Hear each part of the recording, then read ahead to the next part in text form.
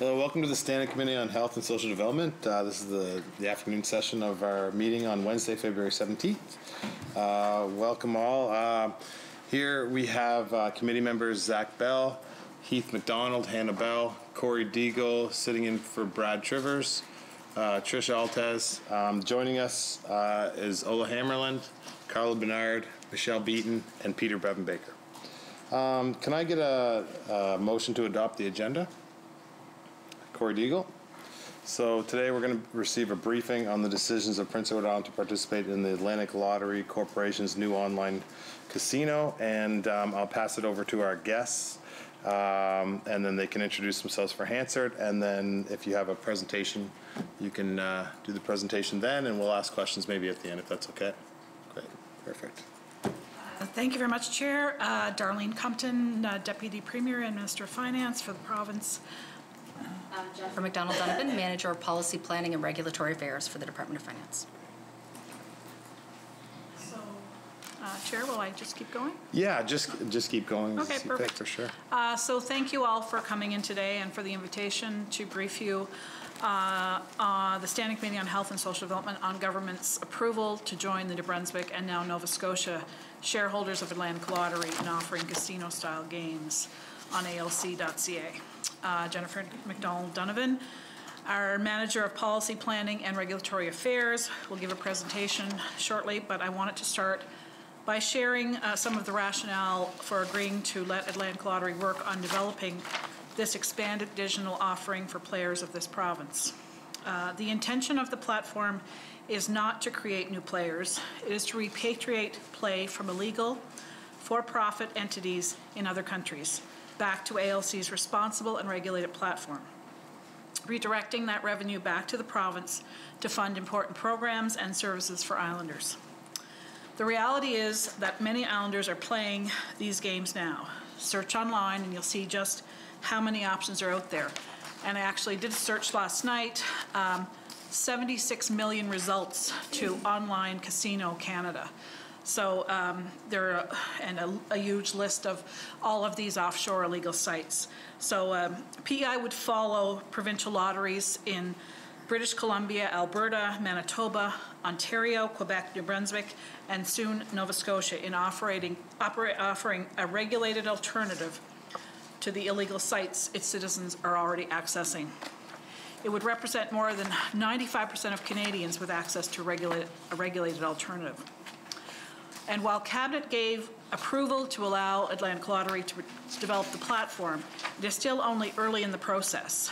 We, uh, we will be having discussions with Health and Wellness on possible harm mitigation measures and responsible ga- gambling education campaigns. Atlantic Lottery has been told PEI would require wager and deposit limits that are on the low end of what is permitted and in other, uh, versus other Canadian provinces, and responsible gaming features that are far superior to the illegal sites. Uh, I'll turn it over to Jennifer now, and uh, we'll answer any questions that you have after she's done her presentation. Okay, thank you. Hello, everyone. Um, in the interest of uh, full disclosure, I've been with the Department of Finance since 2007. Um, I did take a, an unpaid leave to work a parental leave at Atlantic Lottery as their manager of corporate communications. I've been back for over a year, but I just did want to let you know that that's that that I do have that background. So. Um, so background on Atlantic Lottery in general. In 1976, the four Atlantic provincial governments established the Atlantic Lottery Corporation to offer regulated lottery games to people in the region. ALC shareholders are PEI through the PEI Lotteries Commission, New Brunswick through the New Brunswick Lotteries and Gaming Corporation, Nova Scotia through the Nova Scotia Gaming Corporation, and the province of Newfoundland and Labrador. As you know, on Prince Edward Island, in addition to its role as a regulated provider of lottery products, ALC does help support the island harness racing industry through the operations of the two Red, Shore Red Shores facilities. So in terms of responsible gambling funding, um, the PEI Lotteries Commission must allocate 1.5% of gaming revenue to responsible gambling initiatives. So that money is spent by the Department of Health and Wellness and it's invoiced back to the PEI Lotteries Commission.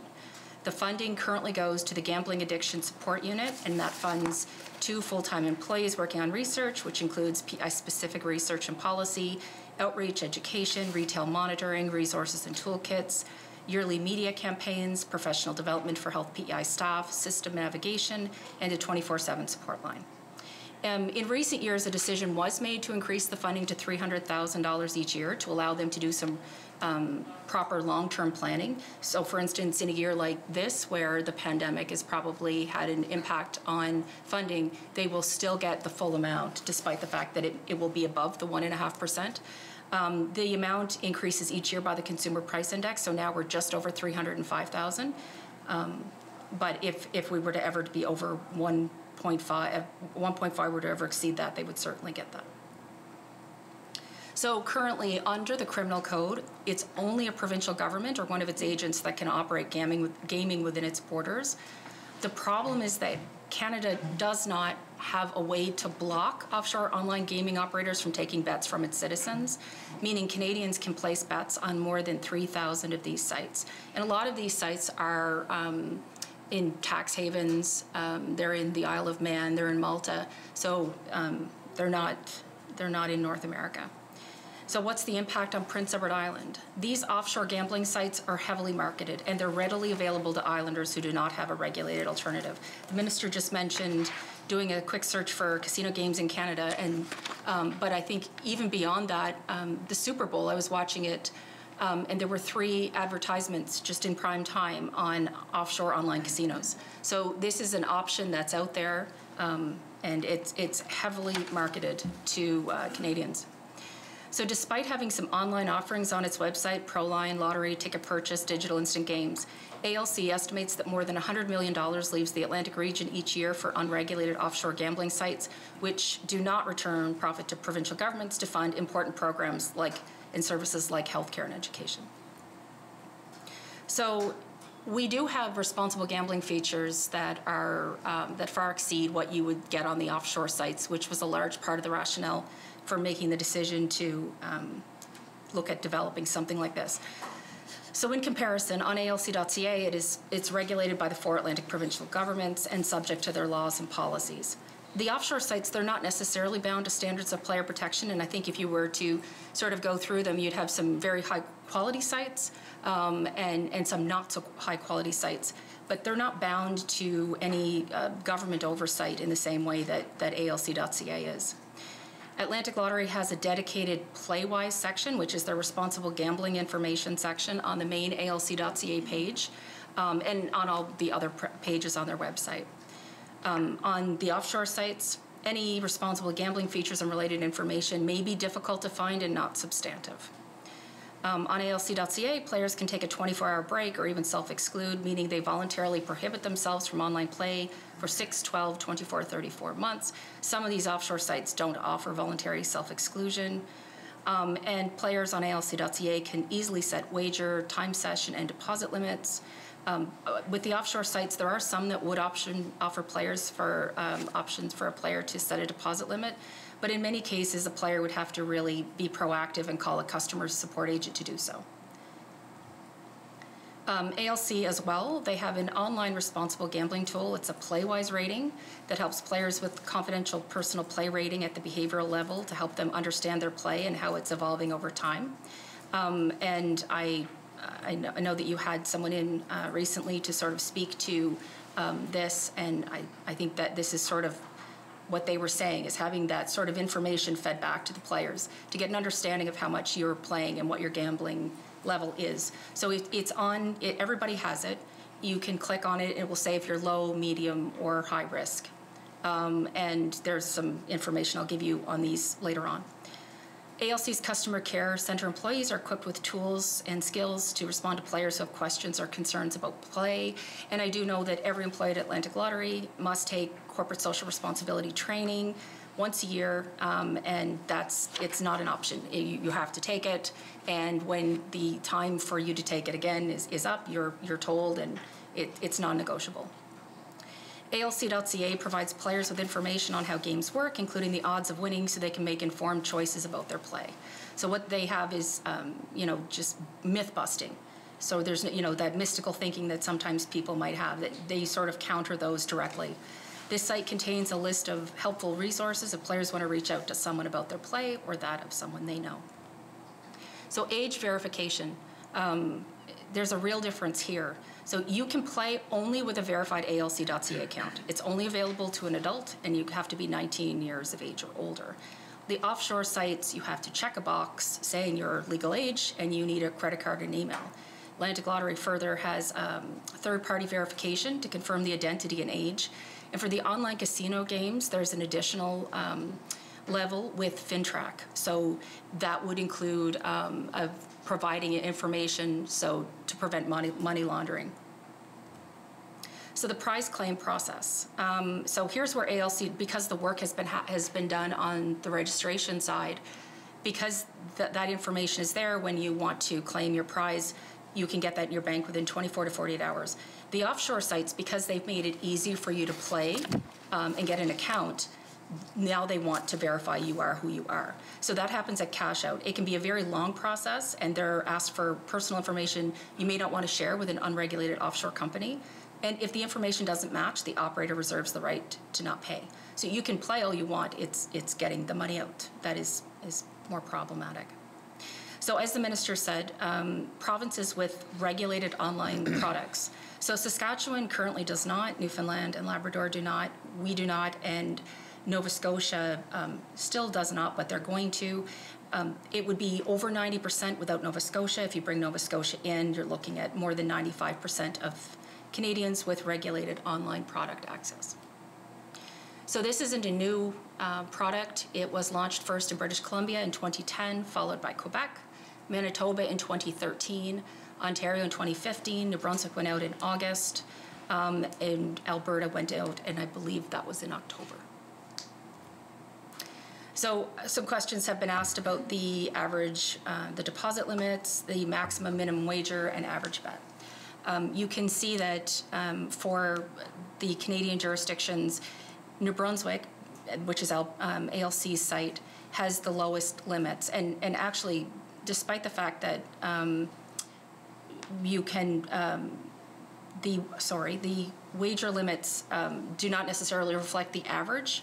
So the average on one of the I slots would be, you know, $1.48 um, as opposed to some of the other provinces. And I would point out that the offshore sites are significantly higher than this. So in terms of process and next steps, um, the Department of Finance uh, went to Cabinet to get approval to enter discussions with Atlantic Lottery. There was no point in the province, um, in the department doing any work toward this um, and, and using resources if it was not ultimately going to get cabinet approval to enter discussion. So that's where the starting point was. So now this is fairly early in the process, as the minister said. So this will require input from our health officials on any additional supports they require, ongoing discussions with other shareholder governments on technical standards. And Atlantic Lottery has been advised that PEI would require wager and deposit limits that are on the low end of what is permitted in other Canadian provinces, and responsible gambling features that are far superior to the illegal sites. So I just wanted to show you um, a bit of what you sort of sort of get with ALC, a little bit more information on their um, responsible gambling features. So the weekly deposit limit, um, it's mandatory. So you do, and that was something that the expert had spoken about, was the idea of having um, this be a, a mandatory deposit limit. It's, it's not optional. When you sign up for an account, you have to set your limit. And, not only that, at least once a year, you have to change it. You can go in and change it more, but you, you absolutely um, have to change it at least that amount. So players can decrease their limits at any time, and those go into effect immediately. There's, there's no waiting for that. If you want to increase your limits, you're going to have to wait. You're at least 24 hours. So, so that creates a little bit of a buffer. So wager limit, um, Atlantic Lottery has so that you can set an optional daily spend limit. Um, you can decrease it at any time. Again, the same philosophy. Decreases go into effect immediately. Increases require that 24 hours. And then they have um, session time limits. So these can go from 30 minutes um, to a couple of hours. Um, players can set optional daily time limits. They can e- decrease their limit at any time for any reason. However, again, a requested increase will take, an effect, take effect in 24 hours. So there are also some, there's a 24-hour pause button, so you can go in and say, you know what, I just need a break. I don't want to come back into this. Um, and the voluntary self-exclusion, which um, is, is, is very easy for players to access. So when you go in and, and you're playing on one of the games, the very bottom toolbar, one of the things you find is self-exclusion. You can immediately go in there and you can self-exclude for a period of 6, 12, 24, 36 months.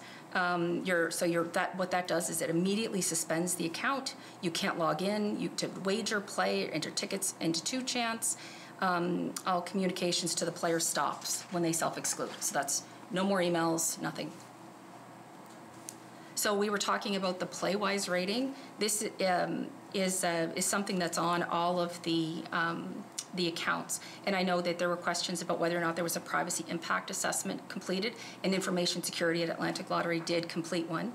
Um, it's our understanding that OLG has something similar, but it um, they did communicate with players in December when they were first launching this tool.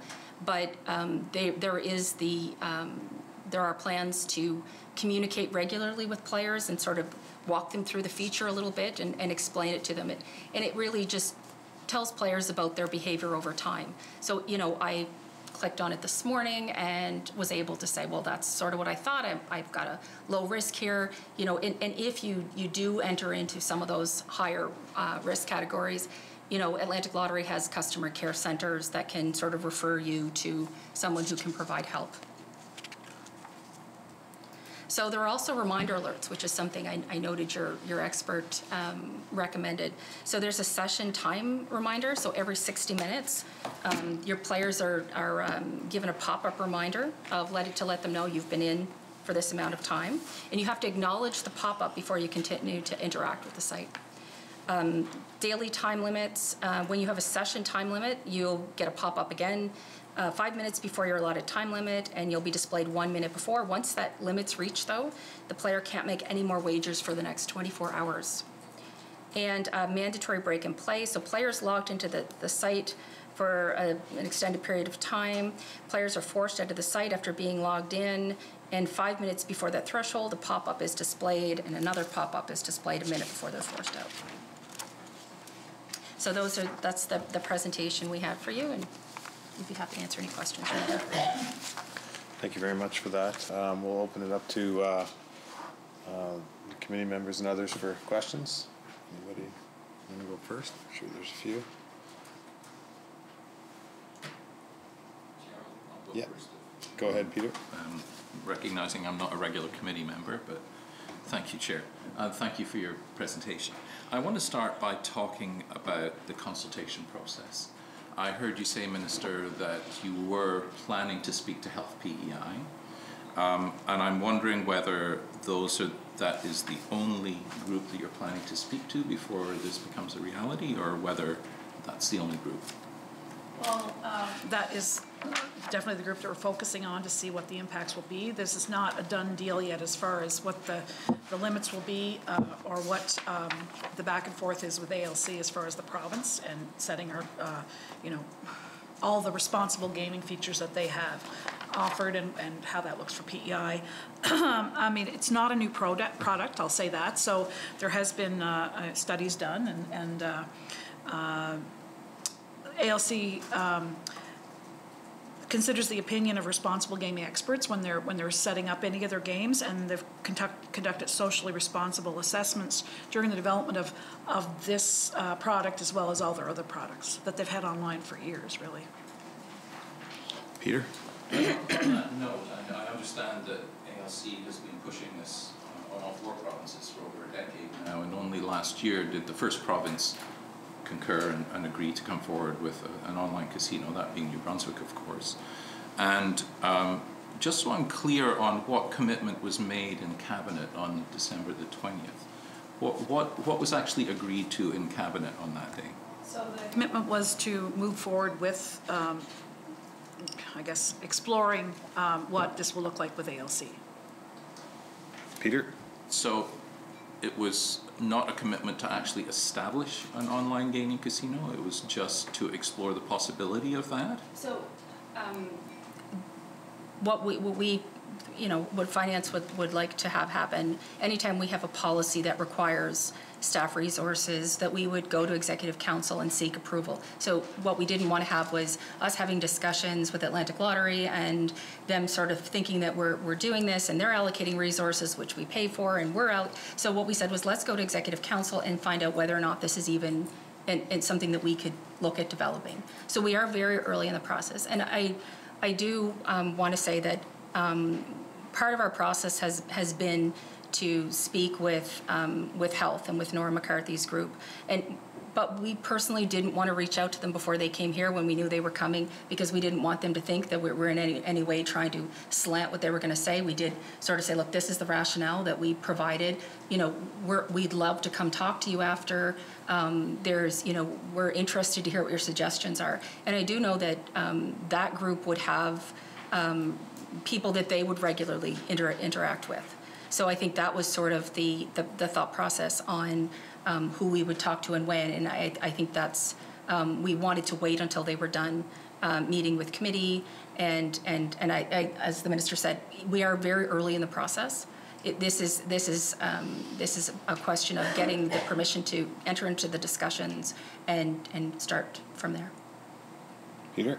Do you have a time when you're anticipating this will be up and running here on Prince Edward Island?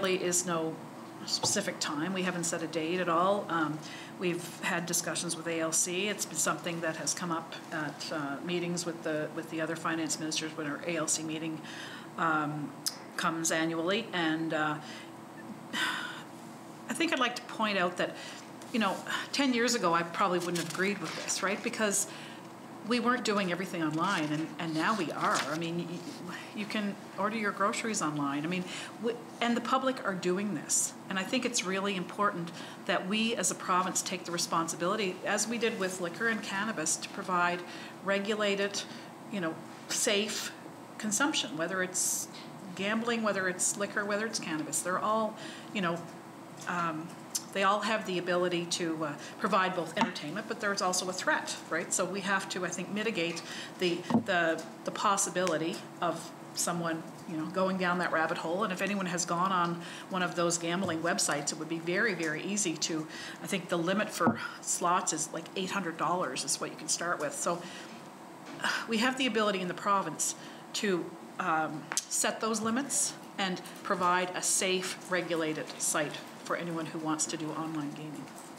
And, and I would point out that um, every one of the provinces, the way that, that ALC is set up, every province has the option to opt in or out of certain certain products. So this is really on our timeline. So it's when Prince Edward Island is comfortable that it has done all that we can to mitigate to mitigate harm. It's when we've sort of spoken with the um, with the, the, the team at Health PEI and and are comfortable that that we've done all we can to provide an option that is different than what is available in the online sites. Peter? Thanks. Uh, you, you mentioned the word safe and the words safe and responsible when it comes to the province offering this uh, this to islanders, and I'm wondering whether you mean safe relative to the unregulated casino online casino options or just safe. Well, I would say compared to their options now, which are the unregulated online gaming. And as uh, Jennifer pointed out, uh, ALC estimates $100 million is leaving Atlantic Canada every year from online gaming. And um, it's concern, first of all, but secondly, we, the profits that ALC, you know, um, ha- have every year go towards the provinces to provide the programs and services that we need. And that, that's part of this, is to be able to um, recoup some of that money that is leaving the province now and keep it here on PEI where we can provide the um, supports for islanders that have a problem with addictions, but also, let's not forget, it goes to health and education and, and all of the services that islanders expect. Peter? And Minister, uh, somebody has to lose in order for PEI to make money. And all of the studies show that that person is more likely to be a low income islander that that person, particularly if they're gambling online, is more likely to be a problem gambler. Um, so my question to you is, do you still feel that this is a responsible way for Prince Edward Island to generate revenues? I would say it's no different than going to the corner store and purchasing lottery tickets or playing the Rotary Draw or, I mean, any of those, um, basically, they're funding something, you know, that is lacking, whether it's sports or recreation. People are going to gamble, and the percentage that have a problem are going to have supports here on PEI and, and to help them. Let's not forget that a number of people, and I'm sure people in this room, gamble for recreation. It's, it's part of what they do for, for pastime and for fun, and that's not changing. And we just, uh, as a province, feel it's responsible, and the responsibility is on us to ensure that there is a safe online site like 95% of other Canadians have access to. If I, if I may, um, I think, you know, I, if you had looked at the, uh, anything to do with online gaming a few years ago, it was really well hidden. Uh, You know, like if you were to try to find an online casino site, um, it, it, it wasn't as, as, as prominent. My 20-year-old son um, has an account on an online gaming site. Um, So does my husband, so do their friends. And they were absolutely astonished to learn that that's not what they should be doing. Um, because they're promoting during hockey games, they're promoting um, during television commercials. It, they're highly marketed. Um, and, and so the alternative for them is to is, is not existent in PEI. So if someone were to end up on gambling online, um, the offshore provider says, uh, we appreciate your, your money and you know we, we refer you to your provincial um, health authority to, to help you with that. Um, and so the province will, apart from the 305,000, a, a good, as the minister mentioned, a good section of our um, general revenue, our, our provincial revenue goes into healthcare.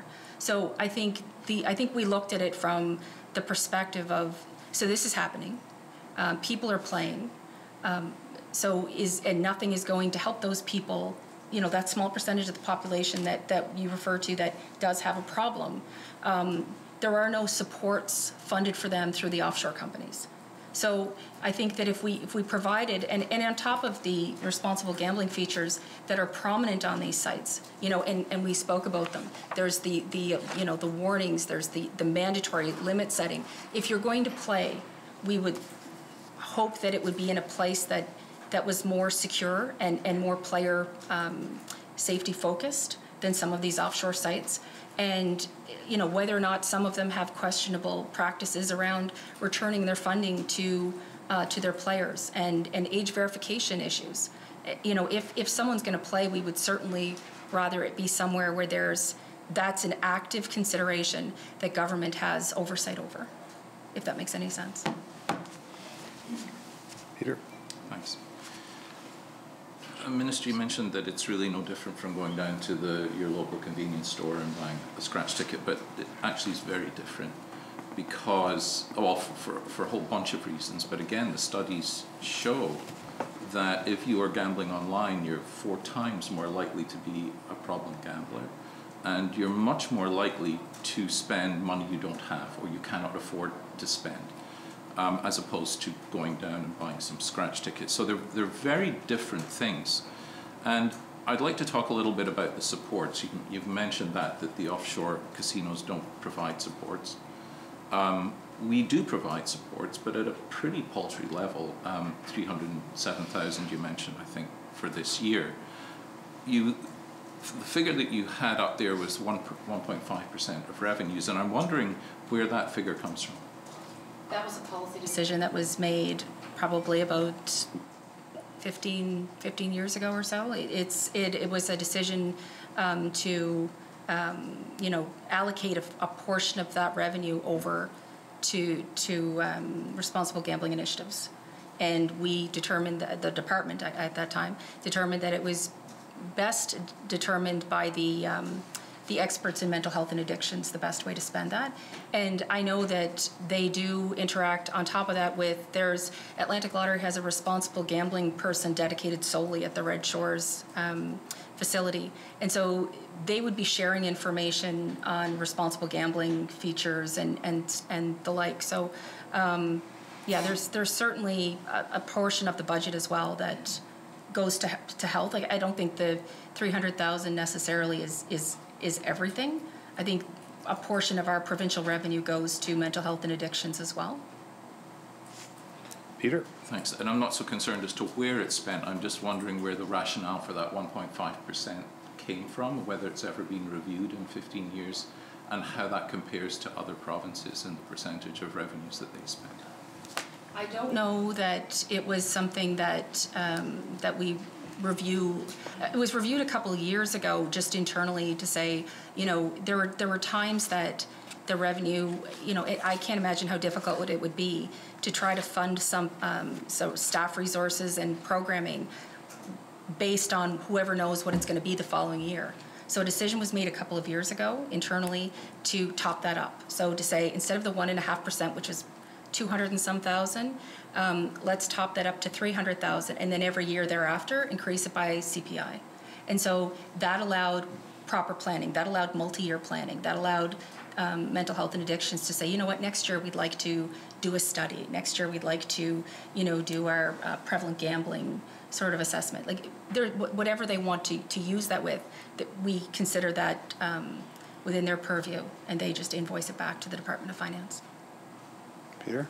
So, again, I haven't heard yet where the 1.5% figure actually came from, other than it Oh, was a I'm sorry. policy decision within Yeah. the department. So the responsible gambling strategy in 2008 recommended a 1.5% allocation um, to uh, mental health and uh, to gambling addiction. Peter? And that was back in 2008, did you say? Um, was that based on studies at the time, or?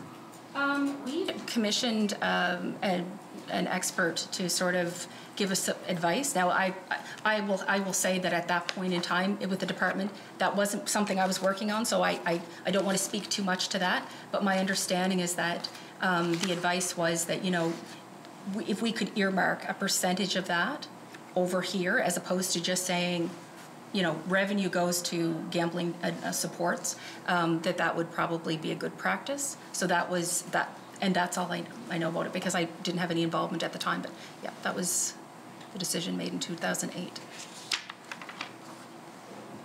Peter? Thanks, Chair.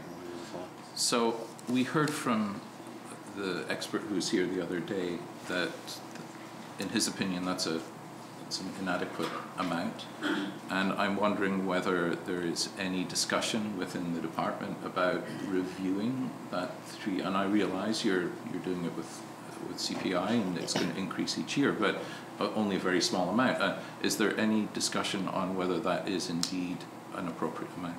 So um, at this point, we have had, uh, we did um, have some discussions um, with um, the folks in health. And so if there's something that they come up with, if, if they came to us and said, and, and I think that's what this phase of the development is for, is going back to them and said, like, look, if there's something you need um, in, with, in this area, like, come back and let us know. So, I mean, those discussions are, will more formally happen, but, but we have sort of indicated, like, look, if you wanted to do, in particular to um, an education campaign. So, and, and I think, um, you know, is there a way also of leveraging some of the responsible gambling channels that Atlantic Lottery has? So do we get them to um, do some more proactive responsible gambling messaging?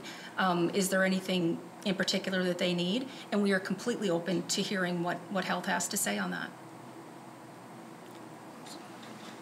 Peter? Thanks, Chair. Uh, So you've mentioned the health department a a few times, and to talk a little bit more about the proposed consultation process, I asked you, Minister, and I didn't hear anything beyond um, health and wellness uh, in your response. And I'm wondering whether, because you've had, uh, clearly there's a difference in opinion between your department and ALC on whose responsibility it is to define what appropriate consultation is. Uh, you yourself, Minister, have said that it would be another layer of consultation on top of what ALC has already done. And ALC, Chris Keevil from ALC said, it's not our responsibility to conduct consultation, that's within the purview of the provinces. Um, you, you again said the onus is on ALC, so there's clearly a, a, a there's a discrepancy there as to who's responsible here.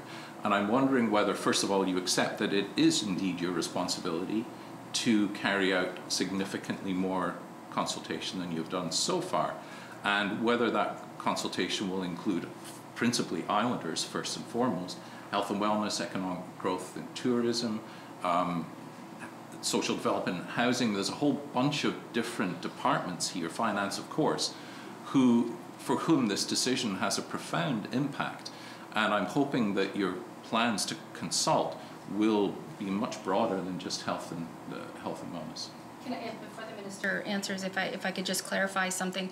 Um, when Atlantic Lottery, I think there was just a, a miscommunication in, uh, in what consultation was. The minister um, um, was, I believe, referring to the consultation with, um, you know, uh, sort of the the responsible gambling experts? What, what sort of research have you done to get us to this point? You know, have you consulted with the other uh, lotteries? So, you know, um, Atlantic Lottery is part of the Interprovincial Lottery Corporation, which is the, uh, the body that has all of the provincial uh, lottery associations. So that's uh, the British Columbia Lottery Corporation, the West Coast Lottery Corporation, which has a number of provinces, Ontario uh, Gaming, and Loto-Québec. Um, to, to, sort of figure out what's been working there and what the best practices are um, and and sort of consulting it, uh, you know, with the other with the other provinces. Because I and the only reason I say that is because I had sort of under I I, I don't um, think he kind of understood the, uh, the the question as in the same way. I, in my conversation with Atlantic Lottery, I said, "What what were they referring to?" and and they thought it was public consultations versus the consultation the minister was talking about. So sorry. What she meant by that the onus is on ALC and, and that this would be another layer of consultation? Uh, well, no, what I was referring to is when ALC developed this particular online program, there was consultation with responsible gaming experts at that time. So they have done some of the due diligence that needs to be done. And um, if we look at the four Atlantic provinces, uh, we all refer to ALC to help us make decisions regarding what online games are offered. I mean, Proline has been on there for years and years, and and uh, I think the biggest part of this um, exercise and, and meeting with standing committee too is to make the public aware that the online sites that are out there are illegal, and I really don't think the average Islander understands that. They see the ad on the, the boards of the of NHL games and you know any place that it's being advertised, they don't realize that those are unregulated illegal sites. And I think the onus is really on the province to provide, I'll say, safer regulated uh, online sites for islanders to use, so they are not playing those on those sites. Trish? Thank you, Chair. So, uh, kind of building off of, of, what you just said, Minister. So, uh, regarding uh, the public's uh, perhaps misconceptions about the legality of, these offshore sites, has there been any effort from government to do any sort of an information campaign or uh, get that information out there? Uh, is it necessary to open your own online casino to share the information about the other ones? Well, I think this brings to light the fact that 95, it, there will be 95 or over 90% right now of Canadians playing, have the option of playing on a regulated site provided by the province. And that when you compare the offshore sites versus the, uh, all of the options that are available, as, as Jennifer pointed out, on a regulated site, there really is a huge difference. And there are people who are going to gamble online and do it for entertainment. And a, number, it's it's it's blown my mind since since we've just started discussing this. I, I keep asking. colleagues and, and friends like how many are actually doing this and it, it, it's really mind-blowing the number of people who are using these offshore sites to, to for entertainment and you know we we know that there there will be um, some people that have a hard time regulating their own self-play and do that now. And let's not forget the uh, the, the offshore sites that are there now. They're not accountable to any provincial regulations. They do not return any of their revenues to the province where people are spending the money from to provide programs and services. And their mandate is not to offer a safe product. So the responsibility is really on the province to ensure that there is a safe product out there because islanders are doing it. It's no different than ensuring there's a safe product for alcohol or cannabis. You know, it's part of that, to me, that whole entertainment um, package is that we have safer regulated online gaming because people are doing it. Trish? So, uh, thank you, Chair. So those um, offshore sites, of course, are, are still going to exist. So, you know, as a, it seems like a, uh, a strange first step to move to uh, opening our, our own, uh, you know, the an ALC online casino before even attempting to inform the public on the realities of these other offshore casinos that will still exist and will still be accessible, um, you know, for everyone, uh, whether or not we have an ALC uh, casino, online casino available.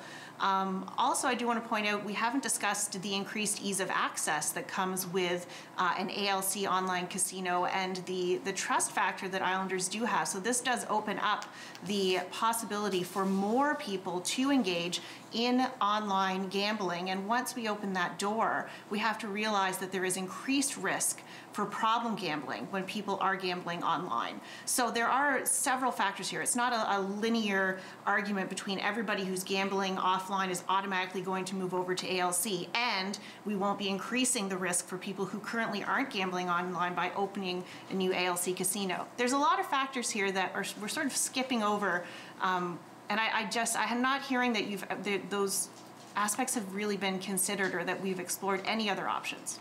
So Atla- Atlantic Lottery has in, you know, uh, I guess it depends on how captive your, your audience is. Um, Atlantic Lottery has been out there sort of saying like these offshore sites and trying to sort of shine attention onto it. Um, the people playing, even even when they when they do know, I, I don't know that that's necessarily even um, going to be a strong enough deterrent because they are so mainstream. So even within the past five years, I, I, I couldn't have imagined five years ago seeing some of these sites advertised on television. Or, but there's been a, a mainstream accessibility um, that that that has happened, and it's been a slow evolution. And so, um, do I, you know, it would be ideal if people just said, you know what, well, now that we know that they're not legal, we're just going to stop playing. The reality is, is, is as near as your phone, that accessibility is there. And, and whether Atlantic Lottery is in it or not, the, the difference is that, that people have those safeguards that I mentioned. And I think that's, you know, when government gets involved in regulating anything like that, um, it's what is the alternative? And if the alternative is that someone's going to play on a site that maybe really doesn't care as much that they're, you know, that they, they need some reminders, that doesn't have any deposit limits or, or even reasonable deposit limits or, or re- reminders on play. Um, and I think that's sort of where we came because I mean, and the minister said, you know, she wouldn't have considered it even a few years ago. And, and I think that's true. I, d- I don't necessarily know that, uh, you know, the, the whole landscape has evolved quickly. And, and with um, New Brunswick entering and then Alberta, um, it, it's something that we, we had to look at because it, it, it is a reality. And, you know, my, you know, my, my son has a phone and it, it's, it's right there. And, and I, you know, it, whether or not someone's going to find um, an ALC site more attractive because of the responsible gambling features, uh, well, I, I, you know, I would imagine that's probably, if someone's saying, oh, I'll go to this one because they're responsible gambling features, then I think that's sort of where we're going. And I, I think the advice that we have from Atlantic Lottery is that this has been around for a long time. So BCLC entered first in 2010, um, and there hasn't been. Um, uh, um, it hasn't problem gambling hasn't become more prevalent in those jurisdictions where the online um, games have, have been available. And I think you know we're actually seeing and, and referring back to the previous two experts is that the the the the amount of gambling addiction has has declined in recent years. And I don't know that that we could point in any way to you know because gambling is so broad. So if, if I go and buy a, a ticket for a hockey raffle I'm gambling essentially so it's a very uh, complex issue, but I think that from our perspective, and, and just to let you know kind of where we started, was there are a lot of people playing this. and they're already playing, and we can't shut down the borders. I mean, if, I, I believe Quebec had looked into that a number of years ago, um, trying to find a way of blocking IP addresses, block one today and there's 20 tomorrow. So it, it just wasn't feasible. I, in a world where we could, I, I, I think it would be a different conversation, but, but there isn't a world where we can. Trish? Thank you, Chair. So I think, again, a few times we're, we're conflating a few different things that really can't be compared. So again, you know, saying that buying a lottery ticket or going down to the corner store to buy a lottery ticket is really the same thing as online gambling. Of course, we know that uh, the, the risk and impact uh, for problem gambling is far higher with the online casinos than any of those other options. Um, I do appreciate, uh, you know, uh, that ALC has done some work to try to communicate to the public the risk of these online sites. Um, or the, the illegal sites. Uh, however, there's, it's a responsibility of, of government to ensure that we are informing uh, of risks. And I don't know what reach ALC might have to the general public to get that information out, nor is it your responsibility really to do that. I would say that government should have a responsibility when we're looking at, uh, as a first step, to, if, if the focus really is on safety here, which I think there are certainly some questions as to really is that the main motivation uh, for implementing online casinos currently. Um, I do want to ask about the two reports that were commissioned by ALC. They've been referred to a few times. Minister, did you read those reports before taking this recommendation to Cabinet? I've been briefed on both the reports.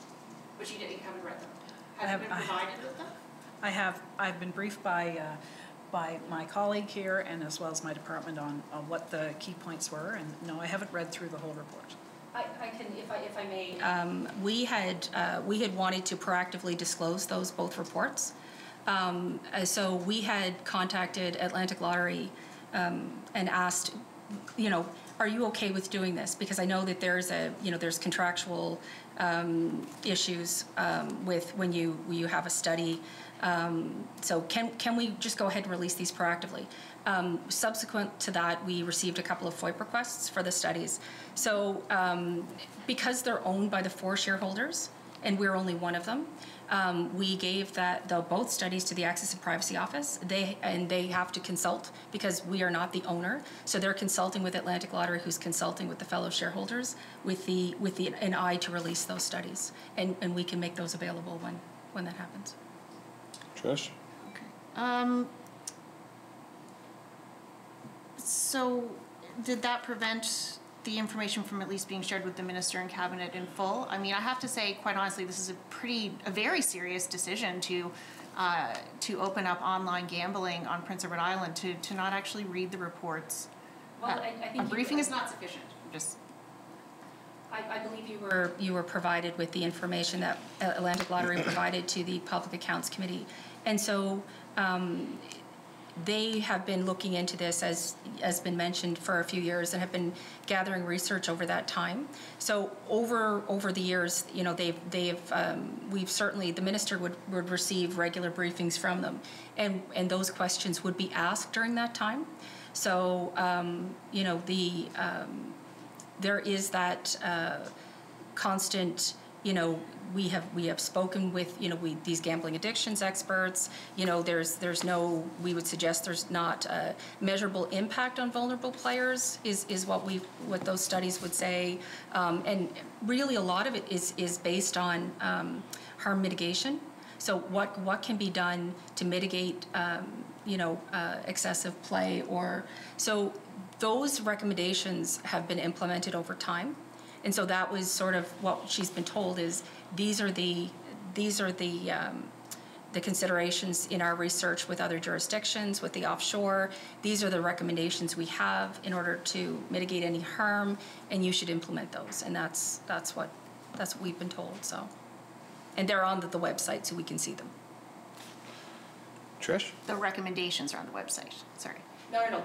Atlantic Lottery has implemented, so recommendations such as, you know, the, uh, the Playwise tool, uh, recommendations such as um, mandatory um, deposit limits, you know, those sort of things. And I, and I did note the expert that was here um, did speak to some of those same things. So that's, and that we would get regular briefings from Atlantic Lottery, who is also liaising with their other interprovincial lottery colleagues. Trish?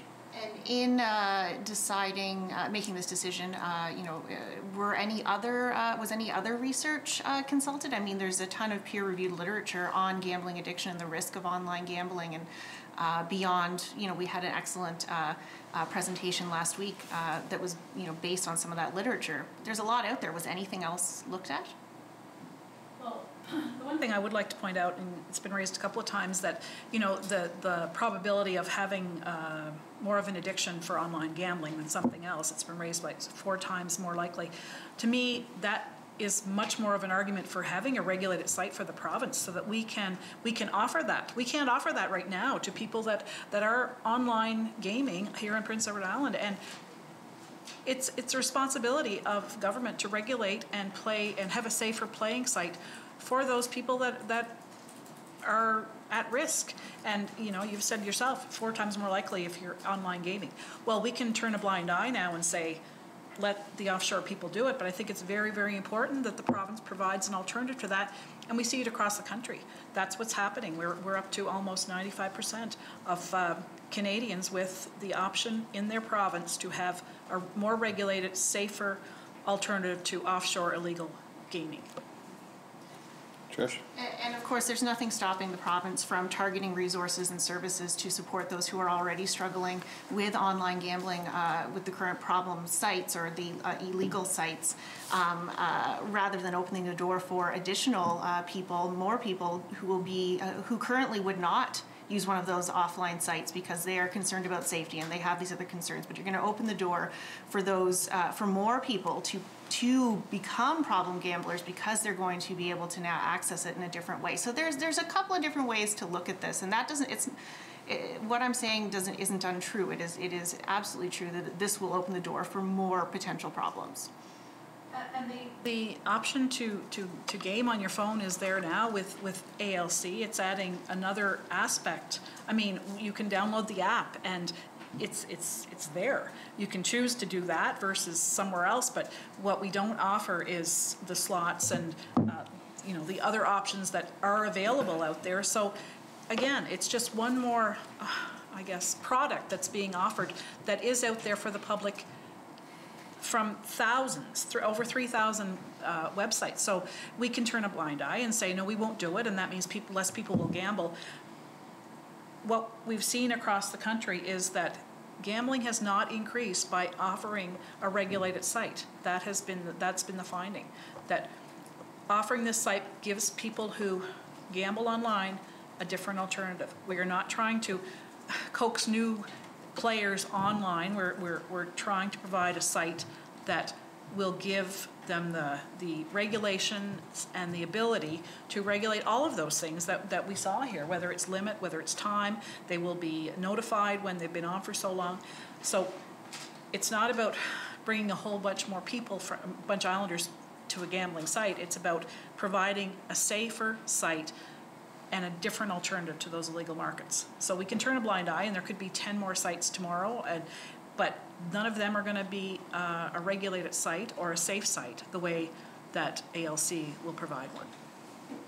Trish? And of course, it's very difficult to track, actually impossible, uh, really, how many people are using the illegal sites currently. So I, I think uh, if, perhaps if I could, if we could see the research that it's based on, then we might get a better sense of where these quite, you know, strong statements are coming from.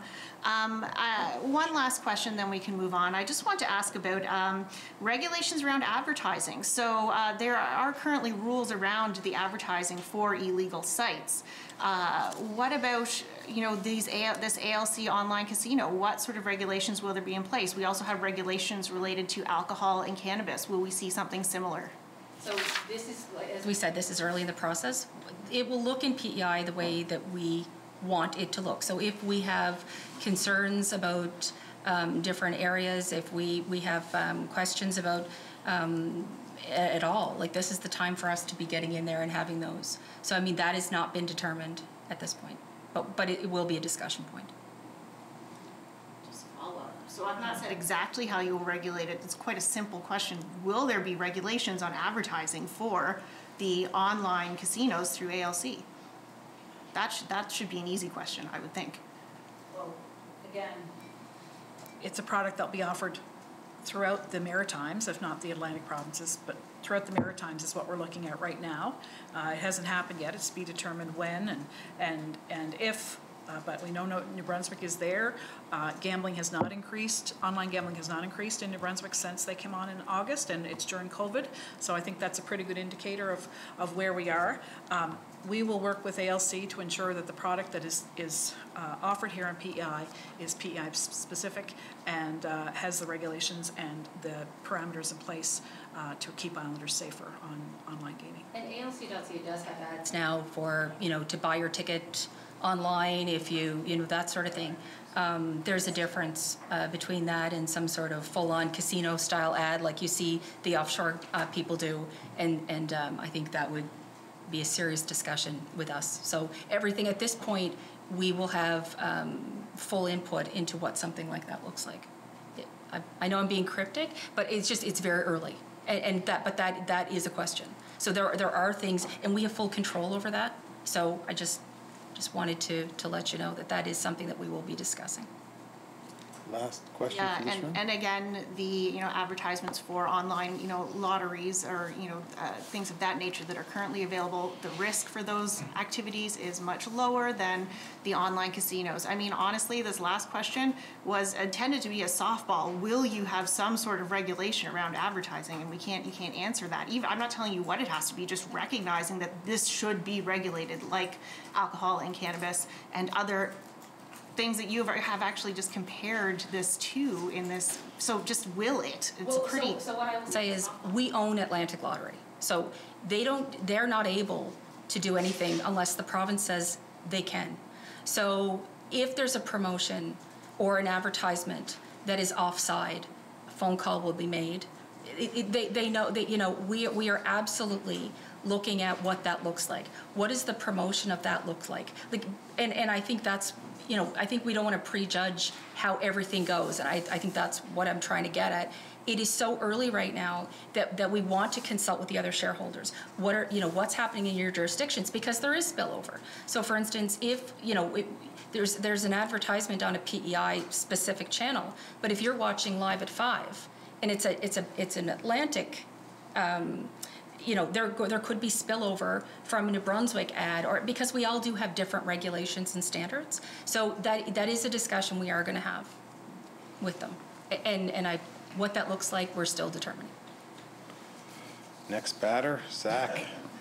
Thank you, Chair. Uh, And thank you both for coming in. It's uh, been a great uh, presentation. Um, I- Maybe this has already come up, but what is the, I know you're very early on in the uh, starting process, but what is the expected revenue? Do you have an idea on that? Well, early determinations are that for the first year, it would be $750,000.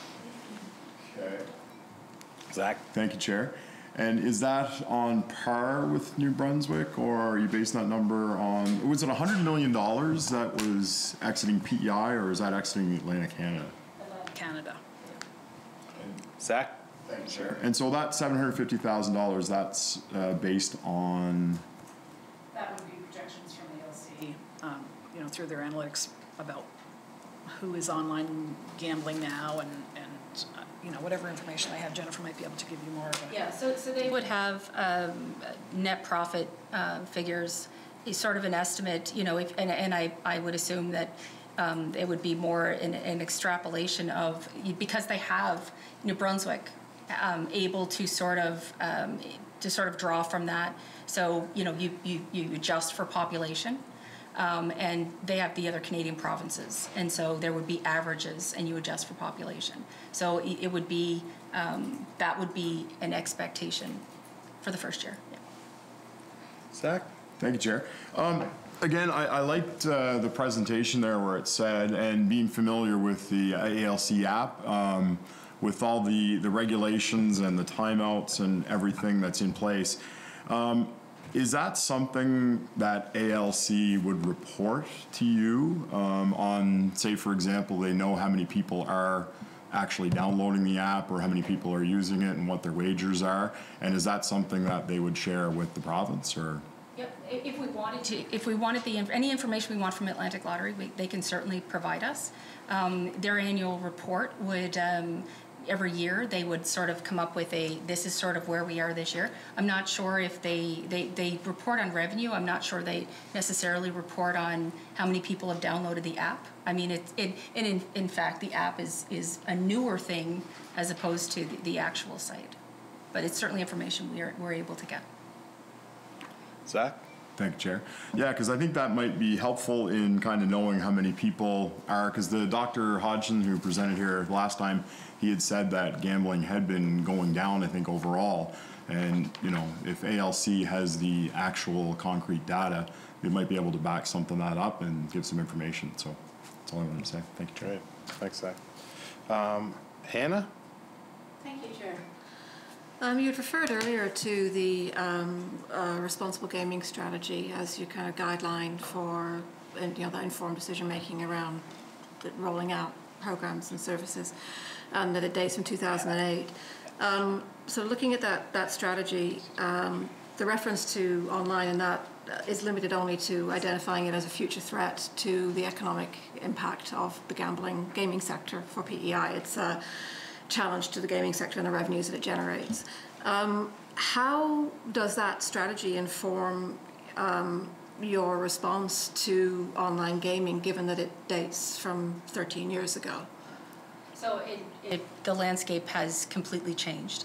And I think at that point, the strategy really focused on consolidating the number of video lottery terminals and consolidating the number of sites and, you know, trying to figure out what um, Red Shores would be in the future. Um, you know what what happens to legions? You know they, they were able to keep their video lottery terminals. Is that you know so those were the, the recommendations that ca- that came out of that. Um, i think that the premise is that um, we you know and the responsible gambling features that that are mentioned in there. So i think it's we're really focused on harm mitigation um, and and you know sort of relying on our our um, the team over in health to let us know like you know are there are there uh, resources that you'll need? Um, is there edu- are there education campaigns? Because you know we're totally open to all of that. But but to your point um, yeah it's been uh, a rapidly changing landscape with with respect to online gaming even the last couple of years. Just the the acceptability in the public sphere the the uh, the idea that you know you can turn on a television ad and, and see an ad for it in a, on a Canadian television channel is is uh, is interesting. Hannah? Thank you, Chair. Um, I think, you know, the context on this is that 2008 predates Facebook, Twitter, Instagram, TikTok.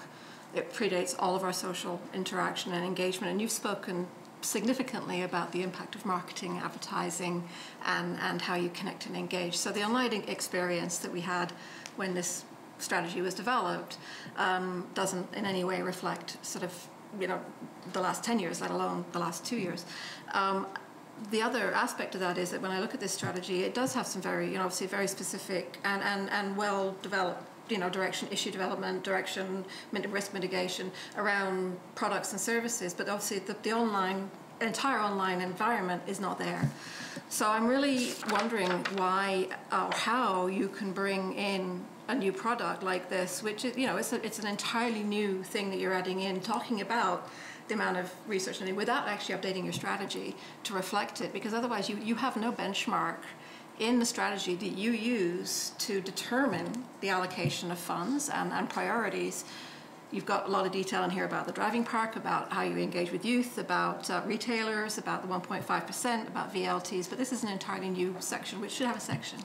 So why have you not updated that strategy as a priority? So um, I, you know, I, I understand from Nora that the gaming gaming prevalence um, survey is going to be done again. So um, we're, in, we're we'll be certainly interested to see that. Um, one of the things I forgot to mention was that the previous study did was it recommended the increase in the age from 18 to 19. So I think um, what we're doing in, in, in aligning that study with, with this action is making sure that that the fundamental uh, principles behind it, which are you know as much as possible, um, you know harm mitigation, keeping product from youth, um, you know those uh, those are in play. Um, I, and but I would say, and I, I, I racked my brain for the past few weeks to try to, um, you know, make a comparison here the, if, if it's not, um, if we were introducing a brand-new game to Islanders and they, they've not heard about it before, I think it, it's different and, and I, I, you know, um, but it's already here. And so it's, it's, from our perspective, it is a, a means of, of regulating something that is, is, like it's, it's, we can't block it at the bridge, it's here. So what can we do to adapt to that? What can we do to offer a safer, safer alternative to players? Which is, which is really where we, we came at this from. Hannah? Thank you, Chair. Uh, With all due respect, that wasn't what I asked. I appreciate you telling me what it is you want to do from an action basis, but I'm looking at the strategy that informs your overall decision-making. When you have a strategy that you're referring to as your key point, but it doesn't contain um, any way that you can actually articulate or identify the opportunity and the risk around this entirely new section of your, your product envelope, um, and therefore allow us to, to, to connect that to what you want to do, then there is no, um, we, have, we would have no confidence that that, that action is actually going to happen related to this, this, this new activity because it doesn't exist in your strategy. Um, and you know the you've referred to it as a, as the benchmark for the 1.5% thing, but you don't get to pick which bits of the strategy you want to do. Generally, strategies should be updated at least every five years, if not more frequently. This is 13 years old, so um, I am as the kind of foundation of some of you, some of the things that you're making decisions on. It, it seems really odd that you would enter into this entirely new and complex venture that requires you to make very specific decisions and investments like you've spoken around around marketing strategy around engagement around education and around risk mitigation when it doesn't actually appear as a concept in your strategy. I just could you uh, do you have any plans to update the strategy? Minister perhaps that's a question i can ask you as a priority for your department. Well, I think it definitely is a priority to, to, to look at the strategy and how we move forward. Uh, as far as online uh, gaming, it is, it's, it's a new, uh, let's say, a new thing, but, so we look to the other provinces who have initiated that and have had it in place for, for 10 years plus, and uh, what the, uh, the risk factors and what the results have been by having that uh, online option there. So um, I think as, as far as uh, the strategy goes, it was initiated back then, I would guess, because of, of Red Shores, but uh, it's something that we continually look at. But uh, I think for, for this particular product, because it's, it's not, it's a new product to PEI, but it's not a new product. It's been around for years and years. And so we would look to other provinces to see what uh, their, um, I guess, what the effects have been as far as online gaming in their province. Hannah?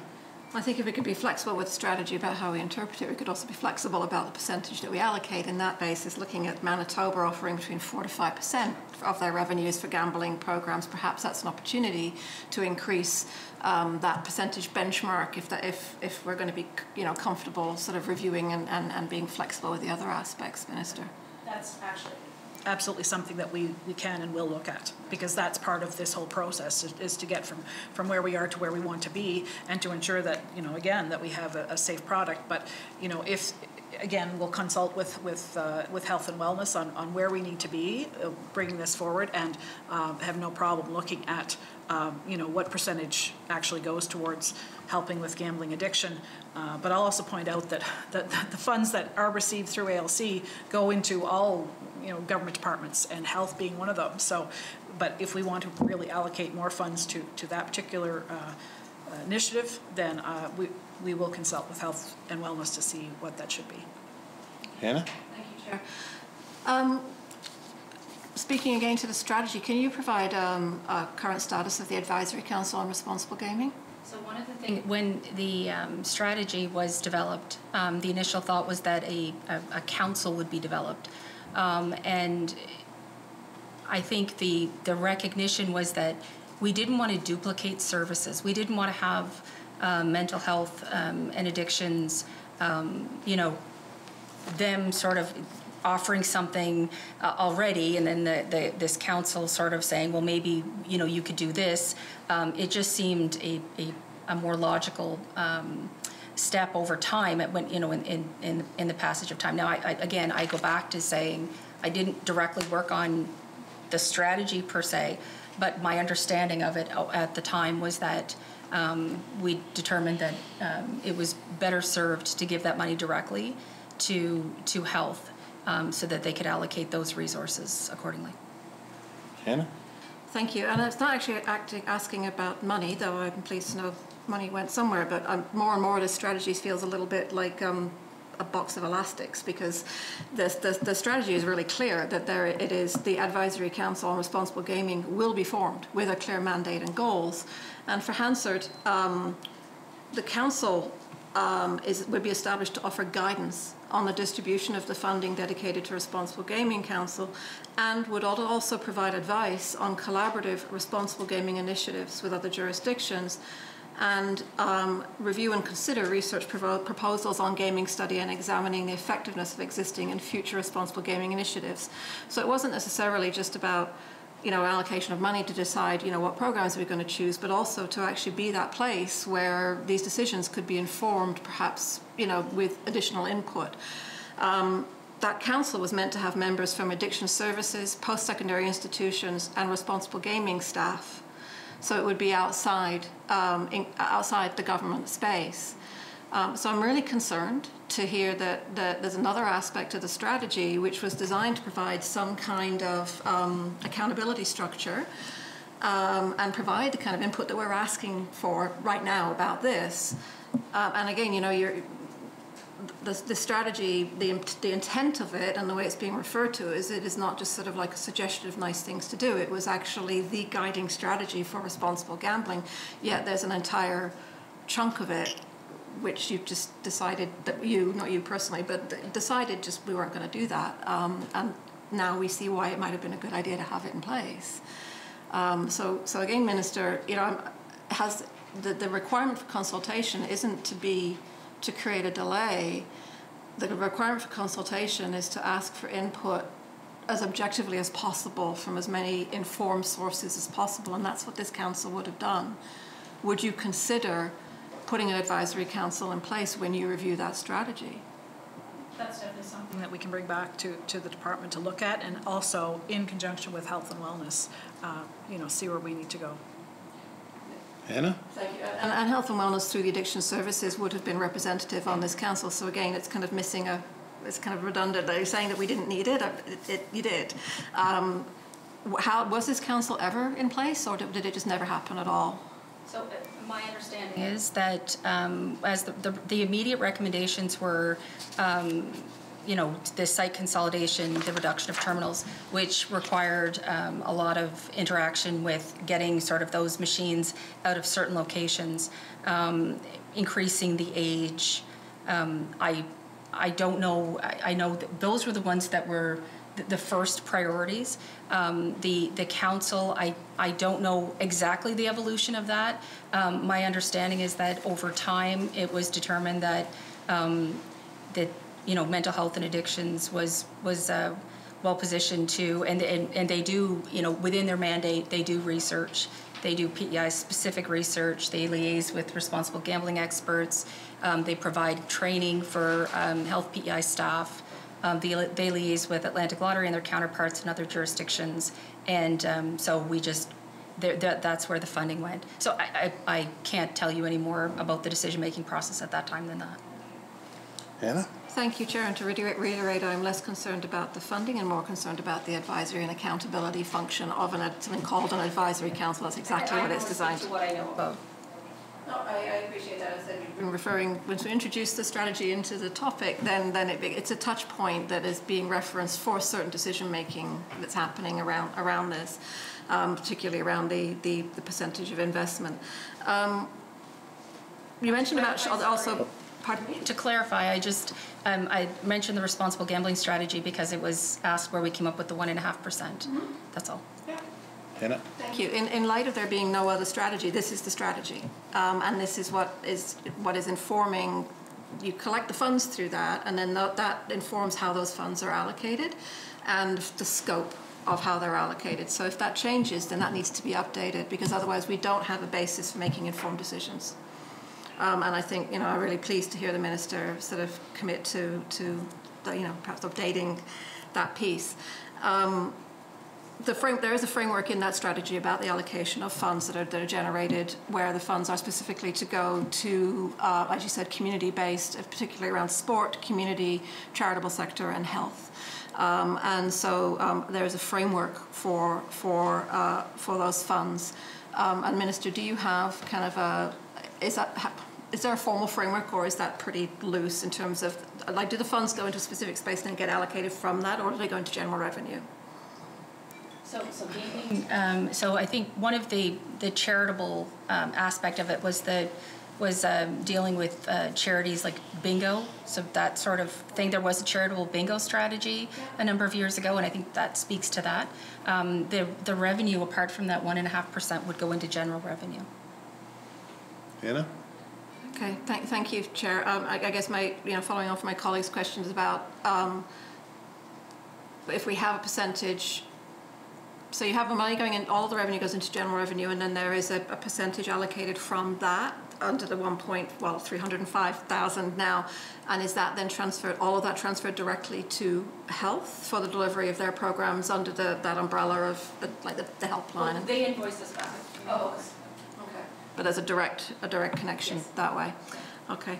Um, I guess, just, Chair, if I have just one Yeah. other one on this one, then allow it to circle around. Um, Just re- re- regarding advertising, and you'd mentioned this, and obviously there's, it's um, pervasive uh, um, advertising across multiple platforms. Challenge again here of- of the space we're in now, but, but we need to be really clear that advertising that appears on, on um, traditional platforms um, like billboards, um, television, radio, and all that kind of thing, and, and, and authorized websites must meet um, both CRTC guidelines and legislative guidelines that are advertising standards and legis- legislation. So illegal adverti- like illegal gambling sites can't advertise legally. They, if, if we're seeing ads for illegal gambling sites, those, those are the ones that are popping up when you're on a website, for example, where those regulations are not in play because that website is not hosted in Canada.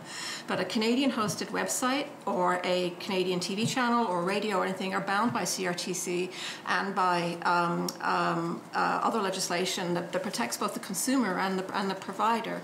So, so I appreciate that there are illegal sites out there, but I think we need to be really careful that there are also a number of legal sites that may not be very good, but they are not illegal. So not every online gambling site, and a lot of the popular ones are actually legal, and they are allowed to legally advertise. They may not, we may, may not like that, but there, and there, so there are two different sets, right? There's a, there's a set of sites which are making tons of money and sending people offshore, but they're advertising legally. Yes, so there's a, it, it's a, it's a gray area at, at best. Under the Canadian Criminal Code, the only people allowed to provide gaming within a jurisdiction is the provincial government and their, or their agent. So uh, it is that, that some of these sites, I mean, can come here and, and, and open up to us. Um, yeah, it, it is a, it is a big problem. And I, I guess the other distinction uh, as well is that you can have an illegal advertisement, but the site itself is not illegal. So, so I think we just need to be really careful um, that we that we are talking about that we're not using big broad strokes, even though they're the bad guys. That we're not using There's big there's broad a- strokes. No, no, there's, there's a very wide spectrum. So you'd have some of the more mainstream, and some of them have offices that would be based in the United Kingdom or the United States. You have way more that are, that are offshore and, um, and, and are not looking to be legitimized in North America. And, and, and those are sort of out there. But, um, you know, the, the, the idea that they're legal is, is, um, is a question, because under the criminal code, um, I would say gray at best, because I can't buy, um, a, an- a lottery ticket in Ontario from PEI. I go into Ontario and buy a lottery ticket when I'm in Ontario, but I can't go online because they're only for Ontario residents. So the offshore sites are, um, yeah, I mean, there's certainly a, a a spectrum, Hannah? Thank you, and I think that's that's the thing we need to think about is that there's a spectrum, right? That this is so it's so broad statements on, on any topic are dangerous, and, and the same here. I mean, uh, just in the same way that um, we can manage jurisdictionally um, where and how we advertise, you know, we can manage jurisdictionally what is and is not available. Um, but there are some things that are out of scope of what we can do, but they don't all fit in the same box. Um, Chair, I'll, I'll, uh, I'll leave it there and come back if I need to. Thank you. Michele? Chair, thank you for your presentation, for being here. Um, I just wanted to jump off something that um, Zack had asked about, about the $750,000 in revenue. I might have misinterpreted, but um, that is specific to PEI. That's not Atlantic Province revenue. That is, so. In the first year. In the first year. So in the first year for PEI, we're projecting $750,000 cleared. Can you tell me what the cost of, of the platform is? I can get that information. A second.